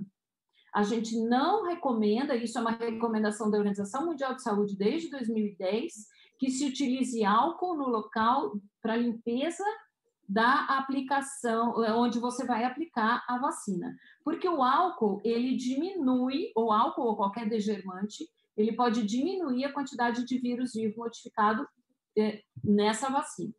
Então, é, todos esses fatores têm que ser considerados. Existem aqueles animais que podem ser geneticamente irresponsivos. É uma porcentagem muito baixa. O que a gente tem que lembrar é que um animal geneticamente irresponsivo, você pode aplicar 50 doses de vacina nele que ele não vai responder. Então, eu só consigo descobrir que o animal é geneticamente irresponsivo se eu testar com anticorpo, com fazer o título, né, a titulação de anticorpos, por exemplo, pós um mês ou dois após uma vacinação adequada e ele continuar negativo. Nesse caso, muito provavelmente ele é irresponsivo e não adianta você vacinar quantas vezes você quiser. Respondi? Sim, eu acredito que ficou claro. Sim. É, tem uma pergunta aqui, professor, que eu vou tentar. Enfim, eu vou fazer a pergunta e vou tentar, é, talvez, tentar, né, melhorá-la. De acordo com as diretrizes vacinais, qual que é a recomendação de vacinação para gatos? Eu acho que isso está lá, né? Está tá no, no, é, documento é, que foi criado. Eu acho que aqui, talvez a, a pergunta seria para o Brasil, né? Em relação às necessidades do Brasil, acho que talvez caiba mais uma resposta para o Brasil do que, do que geral, né? Não sei. Tá, é, na verdade, assim, o que a gente recomenda, a vacina de panleucopenia, que é o parvovírus felino, ela poderia ser dada a cada três anos, que é, e as vacinas para herpes e calicivírus, que nós temos muito no nosso país, deveriam ser dadas anualmente, porque a gente não tem uma resposta imune tão robusta quanto o que acontece para a panleucopenia. Como, infelizmente, nós não conseguimos manipular muito é, em relação a vacinas, como a gente pode fazer para cães, é, quando a gente fala de gatos, porque no Brasil as três vêm sempre juntas, é, então nossa recomendação é que seja feita a vacinação anual para todos os animais que têm risco de cálice herpes. E no caso da leucemia, nós estamos na contramão do que a maioria dos países tem, uh, o que está acontecendo na Europa e nos Estados Unidos e Canadá. Né? Eles estão diminuindo os casos de leucemia por conta de vacinação e porque eles testam há mais tempo, com mais rigor do que nós. E o que a gente tem visto hoje em dia é que a incidência de leucemia é muito grande no nosso país, particularmente em algumas regiões. Então, a nossa recomendação é que todo animal seja vacinado contra a leucemia, particularmente todos aqueles até um ano de idade, e a partir daí, dependendo do, do estilo de vida do animal, ele pode ou não continuar a ser vacinado. O que é muito importante lembrar é que às vezes você tem um animal, é, já me aconteceu, às vezes você tem um, um, um gato que mora num apartamento no 12 andar e não sai nunca, a não ser para ir ao veterinário uma vez por ano, mas que num determinado momento ele era um gato de uma senhora idosa a senhora morre, né? E aí o gato vai para a família e passa a viver num ambiente onde ele tem mais exposição, numa casa ou com outros gatos. Então mudou uh, o estilo de vida desse gato, ele tem que ser vacinado. Então essa, esse tipo de relação com o tutor é que é importante para você entender que você não descarta, por exemplo, o uso de uma vacina para leucemia para o resto da vida, sem levar em consideração que se esse gato tiver uma mudança no ambiente ou no estilo de vida, ele tem que ser vacinado sim, e aí a nossa recomendação é a cada dois anos, né, a cada três, mas geralmente a cada dois anos. Ótimo. Uh, mais uma pergunta do chat. Como identificar se o animal está protegido ou não? Faço a titulação todos os anos? Então, isso é o seguinte, por exemplo, seria o ideal, vamos, falar do mundo ideal. O mundo ideal seria assim: eu vacino uma, um filhote, aplico novamente uma vacina com seis meses, que é considerada a última, né? E eu estou falando com seis meses porque isso é uma opinião particular, não só particular minha, o VGG todo concorda, a gente coloca entre seis e doze meses, mas a nossa preferência é que seja com seis para evitar que esse animal, se por acaso ele não foi imunizado adequadamente, ele, e agora, a partir dos seis meses, o veterinário fica despreocupado. Numa, no mundo ideal, onde você tem medo e tem um proprietário que tem condições de pagar, a gente poderia fazer uma titulação um mês após a última dose da vacina. Então, existem hoje kits que você pode ter na sua clínica e você faz para sinomose, parvo e hepatite infecciosa canina. São os únicos três. Então, a gente poderia fazer isso, né? É uma recomendação se o indivíduo tiver condições. E uh, a nossa recomendação de revacinar a cada três anos, no caso, então, da sinomose, hepatite e uh, parvo, se o veterinário tiver medo e o, e o tutor tiver, tiver medo de fazer esse protocolo a cada três anos, às vezes a gente recomenda. Então, por que, que você não titula entre os três anos? Então, por exemplo, você vacinou hoje, no ano que vem você faz titulação, no outro ano você faz titulação e na próxima ano você aplica a vacina de novo. Porque isso vai, vai mostrar para o médico veterinário que esse animal está protegido nesse intervalo, entendeu? É, eu vi, eu já vou puxar um gancho, porque eu vi em algum momento uma pergunta, então por que, que a gente não revacina a cada sete anos? É, os estudos mostram que tem vacinas que protegem realmente por 5, 7, 9 anos, mas é, existe um consenso entre nós e entre os outros grupos que fazem guidelines que talvez é, não fosse o momento da gente extrapolar muito, até pela, pelas, é, pelas vacinas, porque vocês viram que dependendo da cepa, eu posso ter cinco anos, sete anos, nove anos, né? dependendo da cepa utilizada na vacina. Então, por conta disso, nós estipulamos três anos como um período uh, com muita segurança sem que haja nenhum problema para esse paciente. Agora, eu já tive situações em que o tutor optava por não fazer a cada três anos e queria titular e só fazer quando o título caísse. Isso também é possível, mas a nossa recomendação para que tenha segurança é a cada três anos. Ótimo. Uh, o uso das vacinas intranasais contra a tosse dos canis oferece vantagens sobre as injetáveis? É, isso eu também comentei, né? É um consenso, não é só uma opinião do Wasava, é um consenso dos guidelines, dos outros grupos também, que as vacinas de mucosa, elas conferem uma imunidade local melhor, no sentido de que ela é mais rápida e ela é no local onde o indivíduo, o microorganismo vai entrar. Então, a nossa recomendação é que se dê preferência, sim, às vacinas de mucosa mais do que as vacinas parenterais. Isso não quer dizer que uma vacina parenteral não vá ter efeito, mas se eu tivesse que optar pela melhor, pela melhor qualidade no sentido de uma resposta mais rápida e mais robusta, com certeza eu faria uma, uma vacina de mucosa. Nós temos, não temos no Brasil ainda, as vacinas eh, orais, e elas foram produzidas e existe a facilidade porque às vezes o indivíduo não tem, não quer fazer uma vacina intranasal, então ele teria a facilidade de fazer uma, uma oral, mas o que os trabalhos têm mostrado é que se a gente for colocar numa sequência, a melhor, né, no sentido de, de, de uma imunidade mais rápida e mais robusta, seria a intranasal, seguida de uma vacina oral e depois de uma vacina parenteral.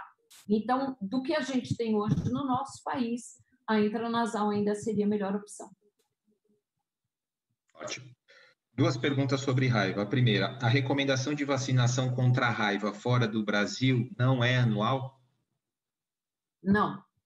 É, as mesmas vacinas, e, a, e, deixa eu fazer um parênteses, quando eu falo em vacinas que nós temos aqui, eu estou me referindo a vacinas de laboratórios internacionais. Por que, que eu estou falando isso? Porque nós não temos estudos com as vacinas nacionais que nos deem respaldo suficiente para falar sobre elas. Eu não estou dizendo aqui que a vacina nacional é pior, mas eu estou dizendo que, como nós não temos estudo, nós não podemos falar das vacinas nacionais, tá? Então, é, quando eu falo de uma vacina internacional, de empresas multinacionais, as mesmas vacinas que nós temos no nosso país, com licença de um ano para raiva, são comercializadas, ou a grande maioria delas, fora do Brasil, com uma duração de imunidade de três anos.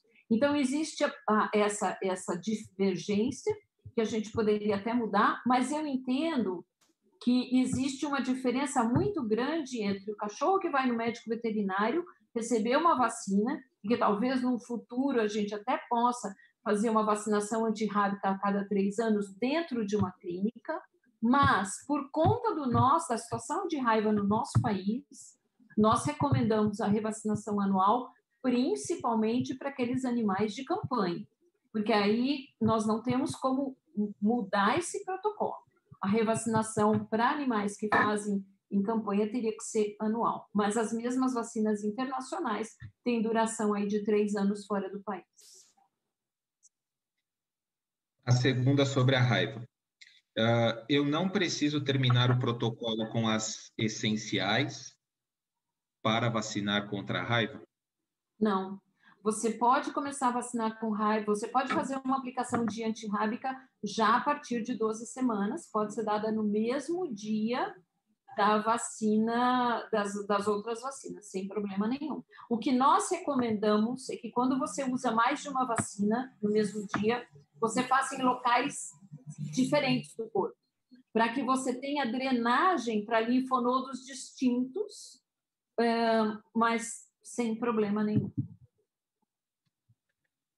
Eu teve uma, uma pergunta que ela apareceu em vários momentos e de formas diferentes. Eu vou tentar sintetizar aqui em duas perguntas menores, tá? Para tentar ficar mais claro. Cão ou gato com vacinação atrasada? Como devo eu proceder? E quando eu adoto e não conheço o histórico? tá. também, né? Como devo eu proceder? Eu acho que dá para casar na mesma. Tá, então vamos lá. É, se você tem um animal, você não sabe o histórico e é um adulto. Bom, bom, eu acho que assim, a primeira situação é adulto ou filhote. Se você tem um animal, um filhote que tenha aparentemente mais de quatro meses, e a gente está falando agora de cão, você não tem necessidade de fazer três doses de novo. Não existe necessidade de começar e fazer um protocolo de três doses, porque eu já falei que quando ele não tem anticorpo materno, com uma única dose ele está imunizado. Então, eu faria uma dose, é, eu poderia fazer uma segunda dose 15 dias depois, pensando nas não essenciais. Então, se eu estou protegendo aquele animal para sinomose, parvo, hepatite, uma única dose é suficiente, mas como nós temos a lepto junto, eu teria que fazer duas doses por conta da lepto, tá? Um animal adulto, um ano, dois anos, ou com vacina atrasada, a mesma situação. Se a tua preocupação são as não essenciais, isto é, leptospirose, você precisa fazer duas doses. E quando a gente fala atrasada, no caso de lepto, para ser muito cuidadoso, o que a gente recomenda é que a partir de três meses, por exemplo, o atraso foi mais que três meses, então em vez dele vir com 12 meses, ele veio com 16 meses, esse animal precisaria receber as duas doses. Se for menos que três meses, em vez de ele vir com 12, ele veio com 14, por exemplo, eu poderia fazer uma única dose, tá? Então, eu não conheço, lembrem disso, o animal é adulto, dose, eu não conheço ou doses atrasadas, eu preciso de duas, para as não essenciais. Com relação a gatos, é, mesmo esquema, só que lembrem que gato, eu nunca vou ter uma imunidade robusta para é, herpes vírus e cálice vírus. Se eu não conheço o histórico do gato, eu preciso fazer duas doses para herpes e cálice, e para parvo ou para panleucopenia, uma só. Como tudo vem junto no Brasil, então gato adulto com histórico desconhecido ou gato com vacinas atrasadas, duas doses. Tá? Ótimo. É, uma outra pergunta do WhatsApp. Animais filhotes ou adultos convalescentes de doenças infecciosas imunossupressivas, como sinomose e erliquiose, devem voltar a receber o protocolo de vacinação após quanto tempo da sua recuperação? Posso considerar voltar a vacinar após um hemograma normal? Sim, o que nós normalmente recomendamos é que se espere pelo menos três semanas entre o fim de uma doença infecciosa e a vacinação. E se você quiser ser muito cuidadoso, um hemograma seria bom, tá? Um hemograma normal seria bom. Mas normalmente a gente pede um intervalo de três semanas. Agora, se é um animal que está com tratamento imunossupressivo, por alguma razão, nesse caso eu preciso ter um hemograma normal também, tá? É assim, é importante que você só não dê só um intervalo. Ele está com tratamento imunossupressivo, ciclosporina, sei lá, é, um corticoide em dose imunossupressiva, eu só vou poder vacinar três semanas depois, mas desde que o meu hemograma esteja completamente normal. Tá? Ótimo. Uh, vamos agora um pouco mais para o universo felino. Uh, qual o teste recomendado para descartar a infecção por felve antes de vacinar? Testes rápidos ou PCR? É, normalmente, a gente recomenda, e inclusive os fabricantes de, de vacinas, né, recomendam o, o teste rápido, que é um teste que detecta um antígeno. o problema é que você pode ter um gato infectado que seja antígeno negativo. Então, esse gato, ele pode, você pode fazer uma PCR, por exemplo, de medula óssea e encontrar um animal que tenha sido que seja positivo. É, o que é importante em relação a isso? Bom, se você faz o teste e o teste dá negativo, você não pode jurar que esse gato não está infectado. Isso não quer dizer que a gente tivesse necessariamente que fazer PCR em todo mundo, mas no mundo ideal seria isso sim. Agora, se eu fizer um teste e ele der positivo, eu sei que ele não tem que ser vacinado.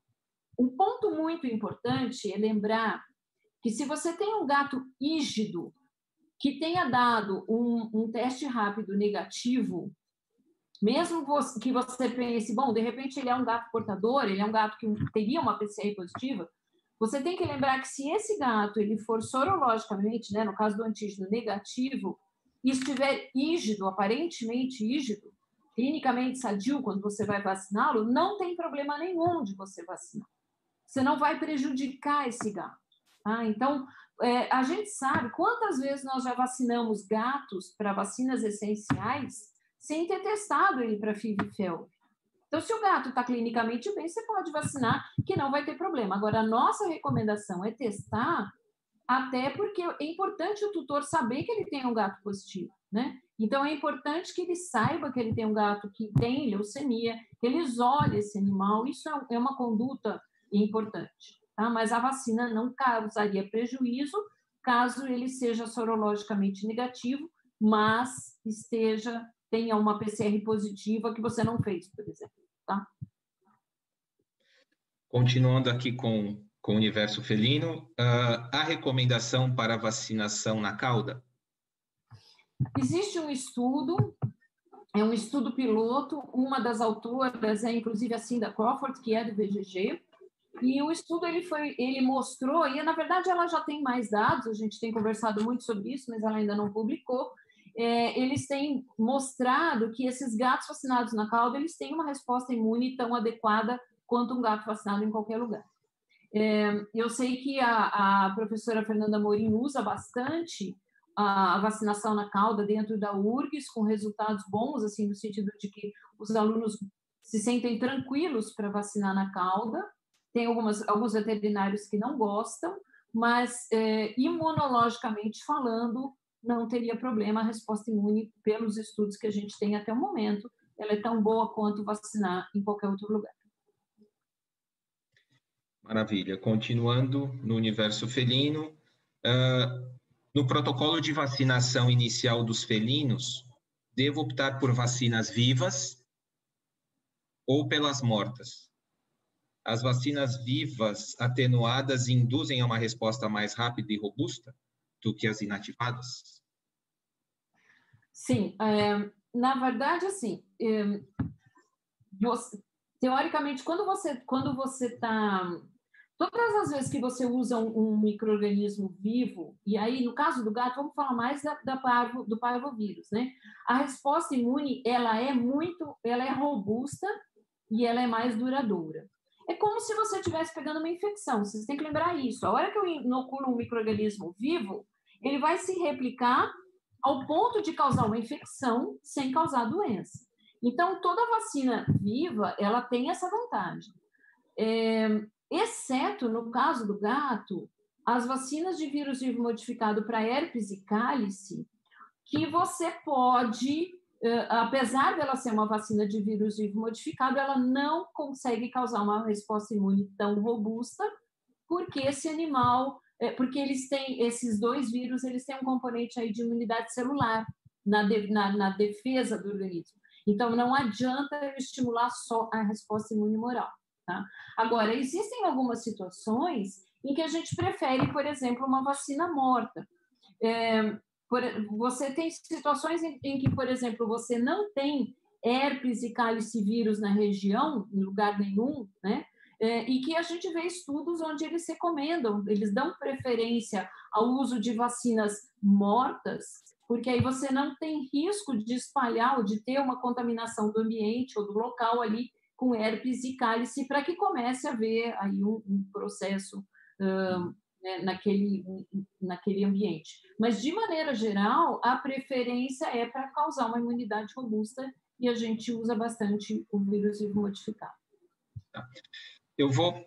É, teve uma pergunta aqui, professora, que chamou atenção no chat e, e que talvez possa ter havido uma falha de entendimento e, e eu gostaria de que talvez é, se houve realmente que a que a professora possa elucidá-la aqui. A pergunta é a seguinte: se a vacina de FeLV não confere imunidade, qual o benefício em utilizá-la? não é que ela não confere imunidade, tá? A vacina de felve, ela confere imunidade. O que acontece é que um gato é, vacinado, ele pode se infectar, mas ele não vai desenvolver uma infecção tão severa, ela diminui a replicação viral, então ele diminui a eliminação viral e ele diminui, é, ele não evolui para aquele quadro de doenças severas associadas à leucemia. Por isso, ela tem toda a vantagem de você, se ele por acaso se infectar, se ele tiver um, um, um tiver um estímulo, assim, um, um desafio muito grande e acontecer dele se infectar, mesmo vacinado, ele provavelmente não irá para um quadro clínico grave e a transmissão dele será muito menor.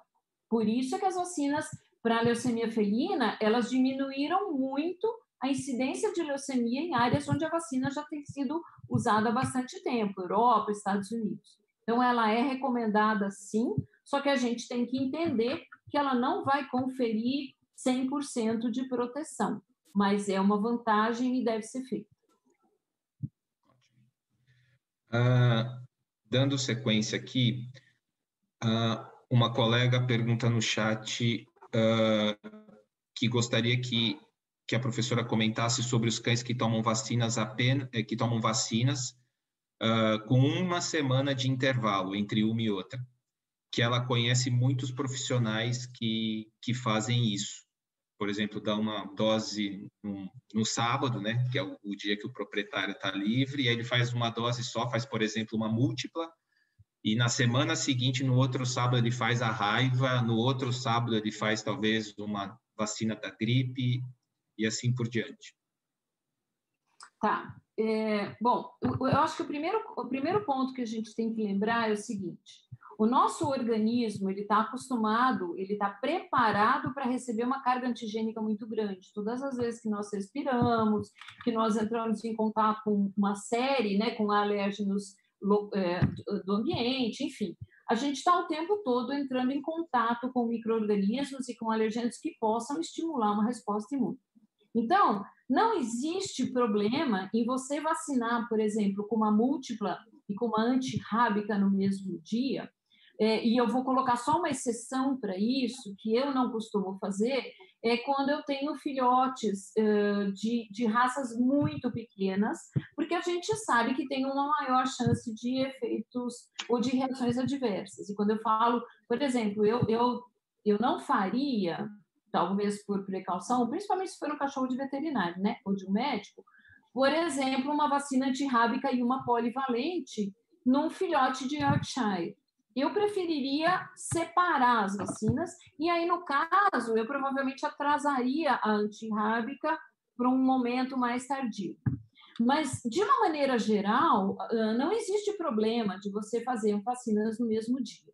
Agora, quando você faz uma vacina hoje, uma vacina dali uma semana, é, alguns estudos têm demonstrado que a própria liberação de interleucinas pela primeira vacinação pode acabar interferindo na segunda. Então, o bom senso nos diz que o intervalo deve ser de duas semanas.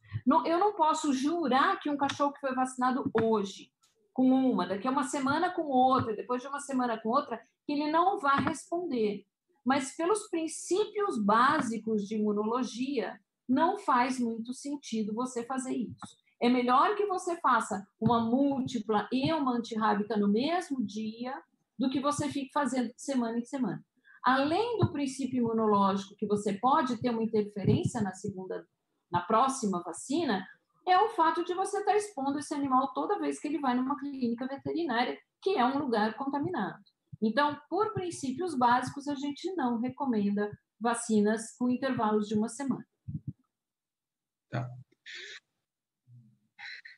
Ótimo. Tem uma, uma outra pergunta aqui, mais relacionada aos pacientes idosos. Né? Tem um paciente de, é, de 12 anos. A vacina está atrasada, ficou atrasada né, por oito meses.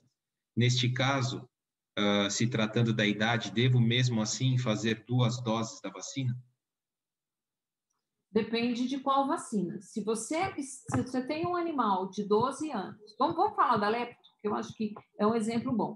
Se tem um animal de 12 anos, que é um animal que tem risco de leptospirose, porque ele mora num, sei lá, num quintal onde ele tem contato com roedores, enfim, é, você tem que fazer duas doses, não tem escolha, ah, principalmente porque existe o, o, um problema de que o animal idoso ele já não responde tão bem quanto um animal jovem. Né? Os estudos mostram, isso é bem interessante, que se você vacinar adequadamente, vou, vamos falar das essenciais agora, se você vacinar adequadamente um animal quando ele é jovem, com as essenciais, antes de um ano de idade, e depois você vai vacinando ao longo da vida dele, ele, é um, ele vai ser um idoso que responde tão bem quanto um, qualquer outro animal. Mas se por um lado esse animal não foi vacinado quando jovem e ele só começou a ser vacinado quando idoso, a resposta dele não é boa. Tá? É, então, assim, é, pensando numa vacina que é não essencial, que é aquela que eu teria problema num atraso de oito meses, eu tenho que fazer duas doses, não tenho escolha. Tá? É, uma pergunta sobre intervalo mínimo, que às vezes é frequente, né? O intervalo, então, das vacinas deve ser sempre de 15 dias? É uma coisa engessada, né? 15 dias de intervalo? Ou... O intervalo ele pode ser duas, três ou quatro semanas. O veterinário vai escolher. Até quatro semanas é plausível. Então, eu posso fazer um intervalo até quatro semanas entre duas aplicações, mas é, ficou meio que, que a, a, maioria dos veterinários acaba usando duas. Eu, quando, por exemplo, se eu estiver usando uma vacina, é, uma vacina essencial dentro do protocolo de um filhote, eu gosto muito de fazer um intervalo de três, porque eu não dou um espaço muito grande, né? É, só que isso acaba acarretando no fato de que eu vou provavelmente fazer mais doses do que eu faria se eu fizer um intervalo de quatro, tá? Mas um intervalo normal que a gente recomenda é de duas a quatro semanas, e aí o veterinário vai escolher com o tutor o que seria a melhor opção. O, o, de maneira geral aqui, professora, no chat, é, tem muitos comentários sobre a quantidade de doses no mesmo dia. Né, se existe um limite, né? Então tem gente comentando existe um número, quantas eu posso fazer? Existe, tem alguns colegas comentando, e os coitados que recebem quatro, cinco doses no mesmo dia? Então, eles queriam que, que a professora falasse um pouco mais sobre, talvez, o, o, ideal, né? Tá, então, vamos pensar na situação do Brasil, né? É, se o indivíduo vai receber uma polivalente como antirrábica sem problema nenhum, se ele vai associar essa polivalente como antirrábica uma intranasal sem problema nenhum, tá? não tem problema. O, a quantidade de antígenos que são recebidos são totalmente aceitáveis e, e, pelo nosso organismo. Lembrem que eu já falei que uma exceção são aqueles animais muito pequenos, de raça muito pequena, que eu não faço antirrábica comum. Agora, se vocês imaginarem, é, o que, existe, existe um trabalho que foi publicado nos Estados Unidos com, com é, uma quantidade absurda de cães, um milhão de cães, eles fizeram, é, quando eu falo um milhão, é um milhão mesmo, um milhão e vinte, um milhão duzentos e pouco, não lembro exatamente o número, no, do animais vacinados na, na rede Benfield, e o que eles verificaram, porque nos Estados Unidos eles não têm vacinas como nós, eles, não existe vacina múltipla lá, né? lá existe o que seria o ideal que a gente gostaria que acontecesse aqui. Então, as, as, as essenciais, elas são uma, uma aplicação, né? Então, eu tenho sinomose, parvo e hepatite numa, numa vacina, e depois eles têm a opção, por exemplo, da intranasal, eles têm a lepto separada, enfim, todas as vacinas separadas. E esse estudo mostra que quando você, é, os maiores problemas de efeitos colaterais, e aqui eu não estou falando necessariamente um choque anafilático. Eu estou falando simplesmente reações adversas de, de, que podem acontecer, elas acontecem em animais de pequeno porte, né, pequeno peso, tipo 5 quilos, mais ou menos, onde você aplica mais doses de vacinas. Então, é lógico que aplicar muitas doses é, pode causar um problema. Agora, lembrem, é, quando a gente está falando do Brasil, que o que eu teria para aplicar numa clínica, num cão, no mesmo dia, seria a polivalente, a antirrábica, se fosse o caso, né? E uma intranasal, que é o que eu faria. É, nós não recomendamos a giardia, então a gente não teria um problema de usar giardia. Agora, com relação à leishmania, a vacina de leishmania, ela é uma vacina que, pela própria formulação dela, ela pode causar algumas uh, dor local, algumas coisas assim. Então, eu não recomendaria usar a de leishmania no mesmo dia que eu faço uma polivalente com uma antirrábica e uma intranasal. Eu deixaria a leishmania para um segundo momento. Tá? Maravilha. Uh, mais duas sobre, sobre, entre aspas, possíveis reações, né? A primeira delas é nos felinos, né? Num gato com histórico de sarcoma, qual a recomendação? Continuamos vacinando ou não? Paramos de vacinar? Tá. Um gato com histórico de sarcoma, a recomendação é não vacinar. Não tem, não tem, a não ser que, assim, eu acho que o veterinário tem que colocar risco-benefício. Né? E aqui eu me refiro mesmo à, à raiva, por exemplo. Né? Então, o gato teve um sarcoma é, por injeção, não precisa necessariamente ser uma vacina, pode ser por qualquer outro produto. Né? É, eu não vacinaria esse gato, mas eu, eu deixaria muito claro para esse tutor que ele é um gato que vai precisar de uma atenção especial no sentido de não colocar esse gato em risco. Talvez, dependendo do lugar que ele mora, e se ele é um gato que vai para a rua e volta, enfim, se eu não tenho como controlar isso, a antirrábica fosse uma vacina essencial, porque a gente sabe até dos casos de raiva em gatos que têm aparecido no nosso país. Né? Eu, particularmente, atendi gato com raiva, então eu não deixaria de usar antirrábica caso não tenha opção. Mas, de uma maneira geral, eu acho que a melhor conduta é manter esse animal dentro de casa e não vacinar mais.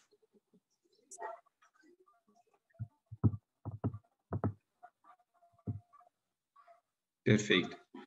Professora, vamos caminhar para as duas últimas perguntas, ok? É, o, basicamente, as duas estão bem uh, relacionadas a esse ponto de, de reação, né?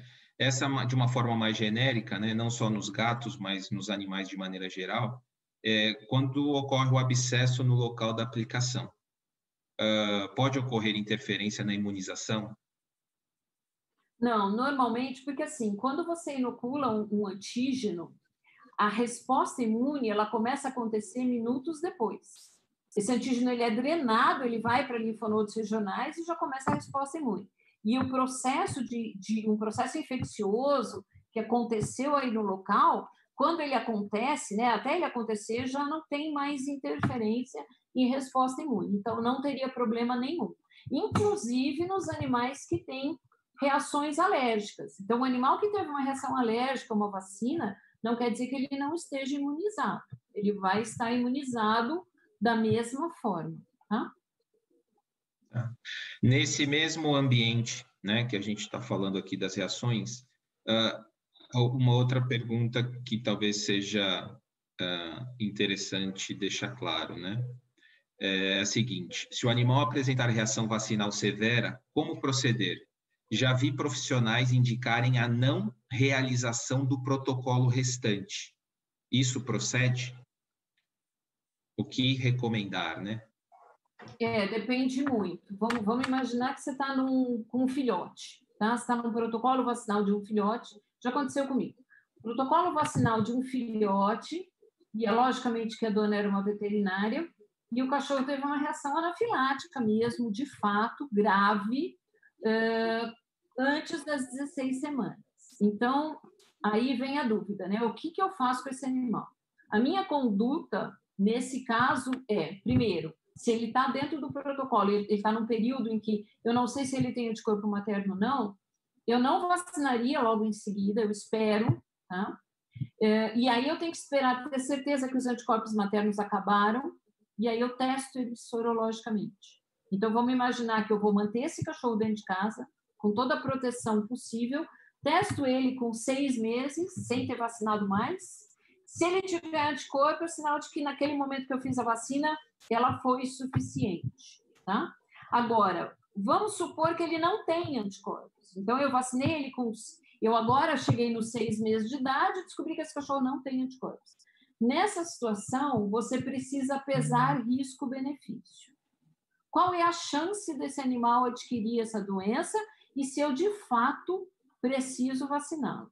Se o risco é muito grande, porque ele, sabe, não tenho como impedir, é, talvez o que eu fizesse, talvez não, né? Eu, eu faria o uso de um corticoide numa dose anti-inflamatória antes da aplicação da próxima vacina, provavelmente junto com o antistamínico, e manteria esse animal em observação. Existe um risco de acontecer de novo e até dele vir a óbito? Existe.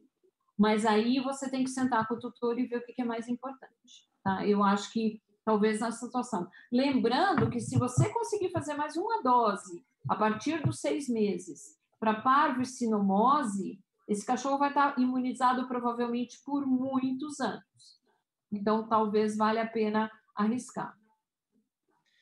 Para fechar, professora, já passamos das, das 10 horas da noite. É, dando sequência a essa mesma pergunta, surgiu uma outra. Adianta mudar o laboratório fabricante? Não, na maioria das vezes não. Porque o que difere muito de um, de um laboratório para o outro é muitas vezes a cepa, né? É a cepa viral, né? E, e, e, isso não é o que normalmente causa uma reação alérgica. O que normalmente causa uma reação alérgica são os produtos que tem nas vacinas de todos os laboratórios. Então, você trocar não significa que isso vai resolver alguma coisa. É, a culpa, vamos colocar assim, né? A culpa não é do laboratório. É, é uma reação que aquele indivíduo tem a um componente da vacina que provavelmente vai acontecer com qualquer laboratório. Maravilha. Professora, mais uma vez, muitíssimo obrigado. Muitíssimo obrigado ao grupo, né? Muitíssimo obrigado ao Astava, ao VGG, a todos os representantes. Muitíssimo obrigado a todos, né, que participaram ativamente, né? Temos algumas perguntas não respondidas porque acabaram em duplicidade. Uh, mas, de qualquer forma, agradecer a todos os participantes né, que participaram aí ativamente e, mais uma vez, a professora Meire pela disponibilidade. E, mais uma vez, né, é, é sempre um prazer para a gente poder trabalhar com esse tema, né, porque é muito relevante e, obviamente, levar a educação né, continuada e para que a gente possa cada vez mais utilizar a medicina, usar a imunologia a nosso favor. E num país como o nosso, né, onde a gente sabe que mose ainda reinam, né, a gente poder levar um protocolo correto seria, na verdade, não, né, é fantástico e, e salvar vidas e proteger vidas. Professora, mais uma vez, muitíssimo obrigado e boa noite a todos. Muito obrigada, Andrei. Eu queria agradecer a todo mundo, pedir desculpas do nosso webinar ter sido adiado, né? Mas eu estava com Covid, já que a gente ainda não tem imunidade de rebanho, e eu não conseguia, não tinha condições mesmo de, de falar no, no, dia proposto, né? Eu até tentei algumas horas antes, mas eu não conseguia de fato falar de forma nenhuma e agora eu estou me recuperando, então muito obrigada, é, queria agradecer o WhatsApp a oportunidade, agradecer a MSD que nos ajuda muito é, e deixar bem claro a todos que a MSD é a patrocinadora do WhatsApp a nível global, mas que eles não têm ingerência nenhuma sobre o que a gente fala, sobre o que a gente escreve, né? É, todas as nossas opiniões elas são baseadas em literatura científica, mas a gente não conseguiria fazer todo o trabalho que a gente faz a nível global se não fosse o apoio do MSD. Então, nós somos eternamente gratos. Muito obrigada a todos, obrigada, Andrei, uma boa noite para todo mundo. Obrigado, pessoal. Boa noite.